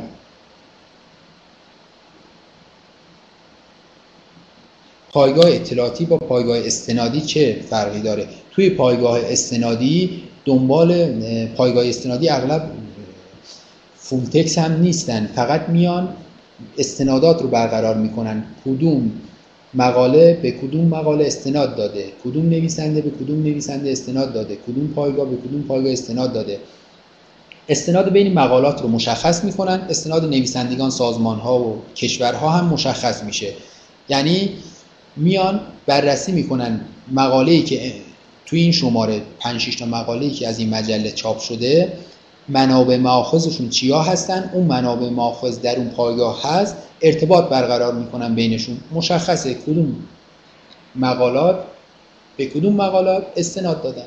همین چیزی که خدمتون گفتیم توی Google Scholar یا Scopus یا ISI مشخص می‌کردیم. هر مقاله چند تا استناد داره؟ یعنی توسط چه مقالاتی مورد استفاده قرار گرفته؟ اینها تجربه تحلیل میشه و بررسی میشه. خب و به خاطر همین هم هست که همیشه به شما میگن که شیوه استناددهی استانداردی انتخاب بکنید. چون بر اساس اون منابع محفوظی که شما می‌نویسید این استنادات برقرار میشه. برای آموزش ابتدایی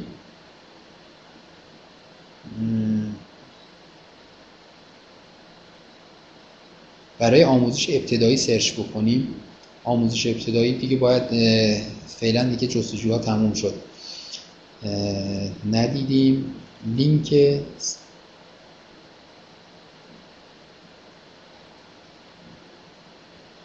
لینک ثبت نام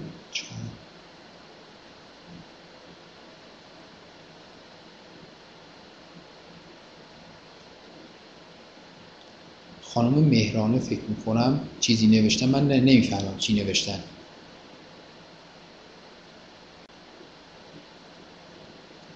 خب learning analytical هم جز موارد جدیدیه که اومده جز موتور جستجوهای لینک ثبت نام کارگاه لینک ثبت نام کارگاه این رو نمی‌دونم منظور از لینک ثبت نام کارگاه چیه. learning analytic هم یکی از پایگاه جدیده که من زیاد اطلاعی ازش ندارم. خب ببینید موضوع جدید باشه یا تکراری باشه؟ همه دنبال موضوعات جدیدن. موضوع جدید چه موضوعیه؟ موضوعی که اولا یه, یه جنبه‌ش اینه که جدید و نوآورانه باشه. چیز جدید رو کشف بکنیم می‌تونه یه موضوع جدید باشه.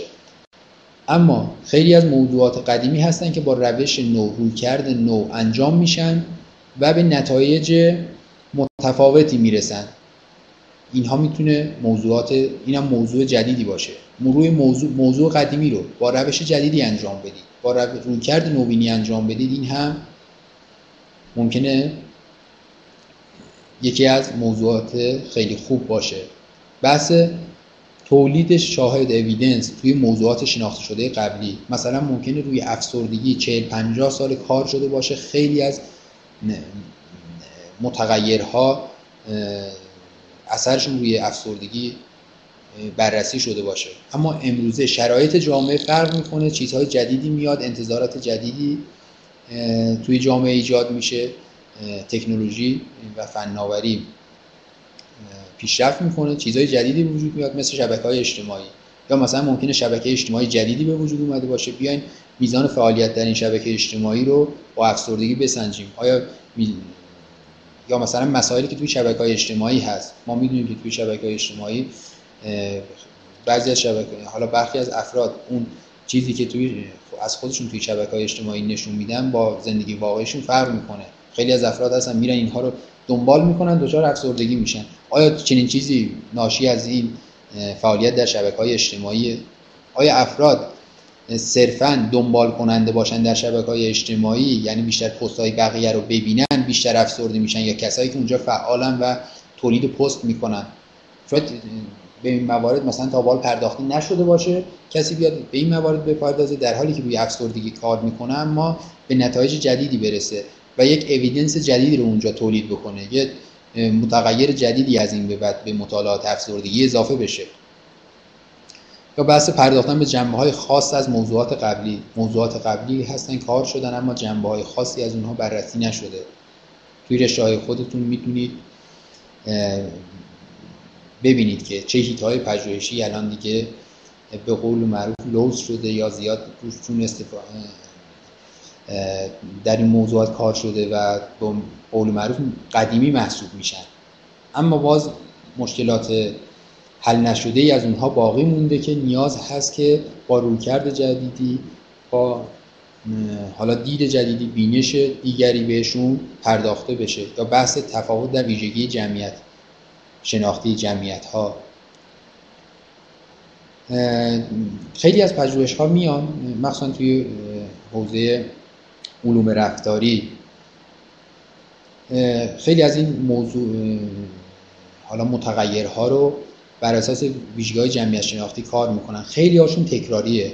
اما خیلی بعضی موارد هم وجود داره که برخی از این متغیرها رو از بر اساس ویژگی های جمعیت شناختی مرتبط بررسی نکردن و اگر اینها رو بخوان به صورت عمیق بر اساس ویژگی های جمعیت ها بشناسن کار خیلی ارزشمندیه و به نتایج کاربردی و همچنین می‌تونه منجر بشه و همچنین به موضوعات داغی که توی پژوهش های دیگه بیشتر مورد استناد قرار بگیرن. خب ببینید الزامات دیگه هم وجود داره. حالا بحث انتخاب موضوع خیلی گسترده است. ما فقط یه بخشیش رو خدمتتون گفتیم و اون رو هم تا یه حدی که شما رو بتونیم به یک سری هیتهای پژوهشی داغ راهنمایی بکنیم. اما از اون بعد دیگه کار دست خود شماست. باید بررسی بکنید متون مختلف رو. تا اونجایی که بتونید هیتتون رو جزئی‌تر بکنید تخصصی تر بکنید هدفمندتر می‌تونید اینها رو بخونید. هر چیزی رو که بررسی می‌کنید متون رو بعدا به کارتون خواهد اومد. ولی اگر در چندین هیته بخونید و بعدا موضوع رو در یک هیته انتخاب بکنید اون هیت های دیگه که خوندید دیگه اون خونده های قبلیتون در کارتون مورد استفاده قرار نمی‌گیره. بحث اینکه خودتون بشین اونها رو عمیق بخونید بهشون فکر بکنید جنبه های جدیدی از اونها رو کشف بکنید. خیلی مهمه اون مواردی رو که می‌خونید بتونید با افراد صاحب نظر و متخصصان در میان بگذارید چون اونها خیلی خوب می‌تونن کمک بکنن و جنبه های جدیدی از این موضوعات برای شما مشخص بشه از این پیشینی هایی که می‌خونید. و در کل بحث صرف زمان کافی.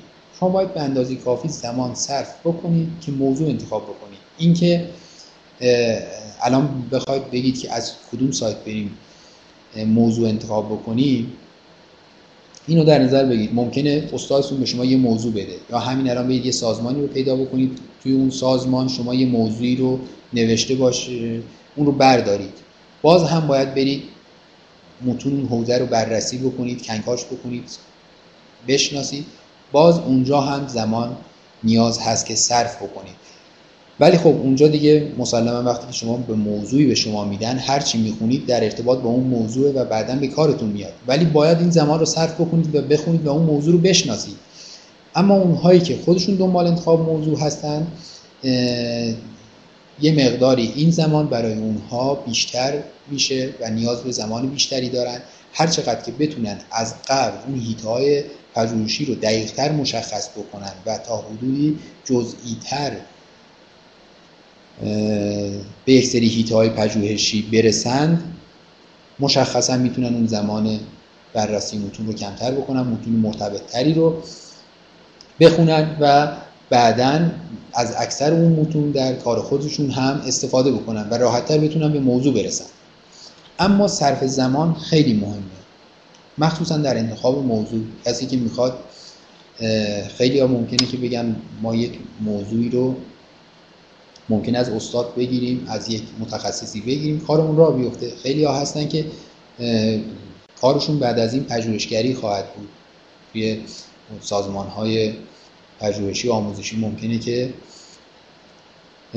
استخدام بشن. این حال لازم هست که یکی دو هیته پژوهشی برای خودشون داشته باشن و در اون زمینه به اندازه کافی مطالعه کرده باشن موضوعات این حوزه ها رو بدونن و شناخت از اون هیته ها داشته باشن که بعدا در کارهای دیگه خودشون به مشکل بر نخورن. خب ببینید حالا ما اینها رو گفتیم خدمت شما. شما ممکنه برید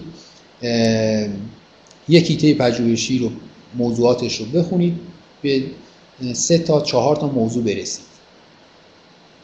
و بمونید که کدومی که از این موضوعات رو انتخاب بکنید. یا اصلا مثلا انتخاب بین هیته ها شما به سه تا موضوع رسیدید یا مثلا به دو تا موضوع رسیدید خیلی وقت این اینطور چیزهایی پیش میاد برای ما. دو تا موضوع پیش روی ماست کدوم رو انتخاب بکنیم؟ ببینید یه راه حلی وجود داره. میان یه سری معیارهایی رو برای انتخاب موضوع نهایی در نظر می‌گیرن. میگن که این معیارها رو برای هر کدوم از اون موضوع ها تک تک بیان نمره بدیم. هر کدوم که امتیازش بیشتر شد اون رو انتخاب بکنیم. این معیارها چیا هستن؟ مثلا می‌تونید علاقه محقق خیلی مهمه. اولویت یا نیاز جامعه باشه یا نه. توانایی پژوهشگر خیلی مهمه. جدید بودن موضوع یا حداقل یه جنبه از اون جدید باشه یا یه روش جدیدی داشته باشه یه نوآوری داشته باشه. این مهمه. منابع مالی و اطلاعاتی در دسترس باشن. خیلی از پروژه های دانشجویی ممکنه که اگر نیاز به منابع مالی داشته باشه قابل تأمین نباشه. اینها باید در نظر گرفته بشه موضوعاتی که نیاز به صرف هزینه دارن و سازمان اون رو تقبل نکنه در دوره دانشجویی خیلی سخته. زمان خیلی مهمه. دانشجوی کارشناس ارشد حداکثر 6 ماه و دانشجویان دکتری حداکثر دو سال فرصت دارن که روی پروژه کار بکنن. این رو باید در نظر بگیرن که در اون زمان قابل انجام باشه. حالا استاد راهنما و مشاور تخصصی در این حوزه ها باشه. مخصوصا در انتخاب هیته ها خیلی مهمه اینها. و متخصصان دیگه هم در جامعه باشه که اونها بتونن از کمک اونها استفاده بکنن. حالا هر کدوم از اینها رو می‌تونید وزن بدید. بعضیا ممکنه وزنش بیشتر باشه بعضی خیلی روی علاقه خودشون تاکید بکنن یا ممکنه بر برای بعضی بحث اولویت بحث نیاز جامعه مهم باشه. برای بعضی مهم نباشه. برای بعضی بگن که فقط ما می‌خوایم موضوع داغ پژوهشی باشه. و ممکنه بعضی از اینها هم وزنش مهم نباشه حذف بشن یا ممکنه موارد دیگه هم به این موارد اضافه بشن. ولی جایی که پژوهشگران و دانشجویان روی چند تا موضوع تعلل می‌کنن که چنین چیزهایی رو هم ما بعضا دیدیم که موقع نگارش پروپوزال حتی من خودم مشاهده کردم بعضی دفعه دو تا پروپوزال دارن. هی دو به شکن کدومش رو بدن به گروه کدومش رو روش کار بکنن. از این روش می‌تونن استفاده بکنن و به موضوع نهایی خودشون برسن. حالا ممکنه به هر کدوم از این موارد وزن بدن. بعضی از موارد اصلا مهم نباشه بذارن کنار موارد دیگه بهشون اضافه بشه. مثلا بحث در اختیار بودن جامعه. بعضی از افراد برای گردآوری داده هاشون بعضا با مشکل مواجه میشن و جامعه های خاصی براشون مورد نیاز هست. عملا بعضی از پژوهش ها از این طریق انجامشون غیر ممکن میشه. خب این هم بس یک راه حل برای انتخاب موضوع از میان چندین موضوع. خب حالا اگر سوالاتتون رو بفرمایید اینجا دیگه من ببینم سوالی رو بالا از دست نداده باشم. ببینید حالا سوال شده بود که کجا می‌تونیم موضوع انتخاب بکنیم. حالا با توجه به این چیزهایی که خدمتتون گفتم قرار نبود که این جلسه بیایم و دقیقا به شما یک عنوانی رو بدیم برید اونجا کار بکنید. اینکه چه سایت هایی برای شما وجود داره اگر اولویت شما انجام کارهایی هست که کاربردی باشن به کار جامعه بیاد می‌تونید این موضوعات رو از روی سازمان های مرتبط با رشته خودتون یا انجمن های مرتبط با رشته خودتون ممکنه که یه سری اولویت های پژوهشی نیازهای پژوهشی مسائل کشور رو بتونید در بیارید. بعد ممکنه که بتونید حتی اساتید دانشگاه های مختلف پروفایل هاشون رو چک بکنید. شاید موضوعات پژوهشی داشته باشن ارائه بدن. ولی اینها بالاخره بستگی به شانس داره. خب سوالات دیگه هم هست بفرمایید.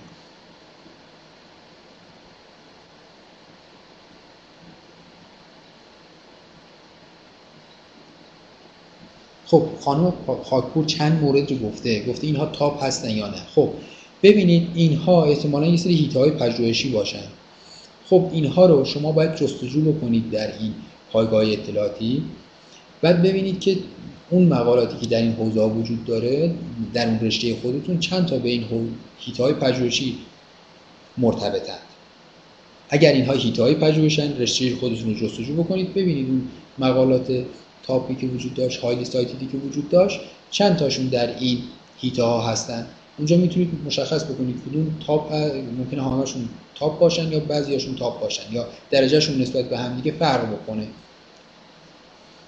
بر اساس مدارکی که در این حوزه ها منتشر شده و میزان دریافت استنادات می‌تونید اینها رو در نظر بگیرید. مشخص بکنید.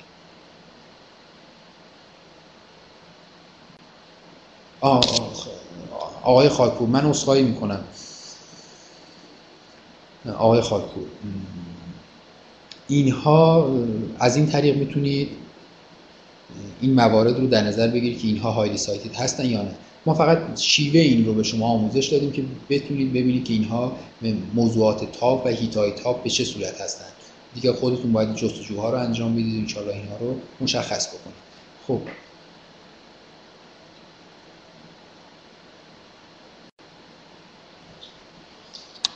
دسترسی به PDF من.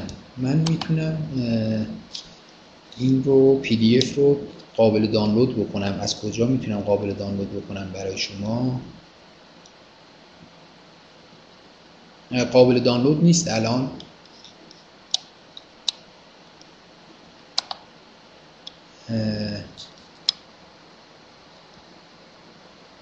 من ضبط این رو خب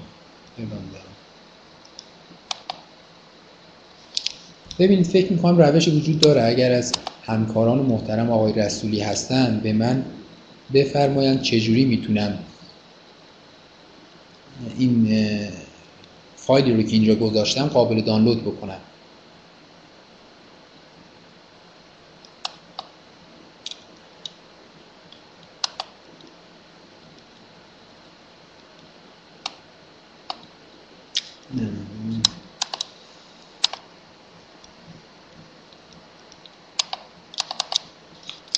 من یه لحظه می‌خواستم این رو قابل دانلود بکنم. تنظیمات صفحه به هم ریخت. خب تنظیمات صفحه رو برگردوندم.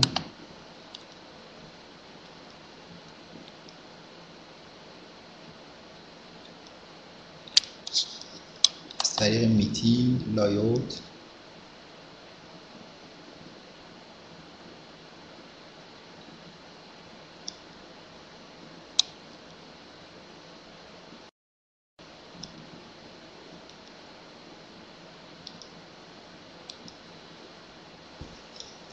خب گروه واتساپی.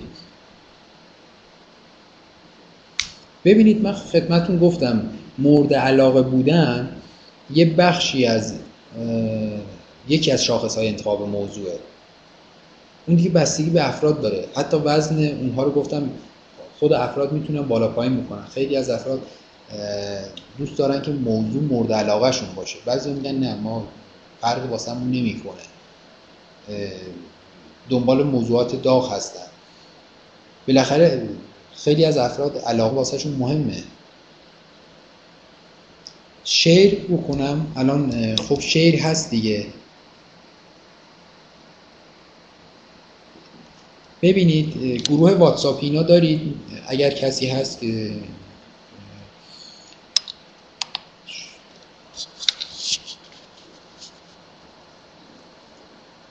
اگر الان بتونیم از اینجا قابل دانلود بکنیم کسی بفرمایید که من چطوری می‌تونم این رو دسترسی به شما بدم؟ share document الان اسم الان share دیگه. من یه بار دیگه بزنم. share document share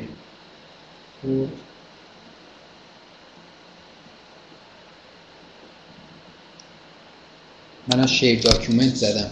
اینجا آیا تنظیماتی داره؟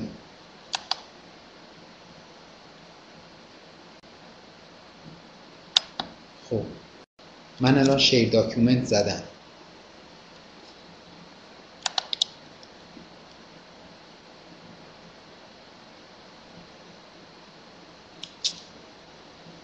share document.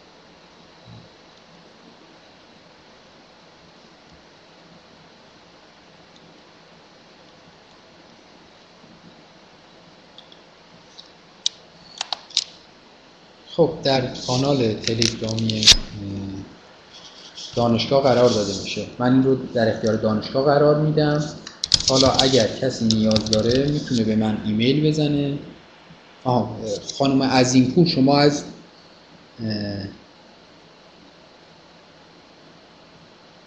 این این کانال از چه مسئولاش چه چه کسایی هستند که من بفرستم واسهشون اینجا قرار بدم؟ یه کاری هم که می‌تونیم بکنیم این هست که من ایمیلم رو می‌خوایم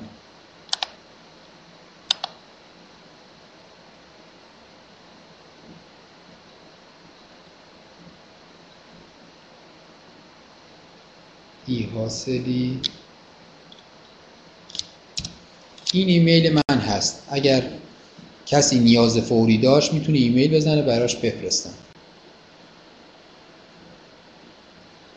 البته من سعی می‌کنم که این رو در اختیار عزیزان در پژوهش دانشگاه قرار بدم که این رو توی کانال های تلگرامی بذارن. همچنین فیلم جلسه هم ضبط شده و اون رو توی آپارات بارگذاری می‌کنن. خب اگر سوال دیگه نیست که دیگه جلسه رو تموم بکنیم و از خدمت شما بزرگواران مرخص بشیم. خب خسته نباشید. امیدوارم که مفید بوده باشه و شما عزیزان بتونید موضوعات خیلی خوبی رو تعریف بکنید و با موفقیت اونها رو به سرانجام برسونید.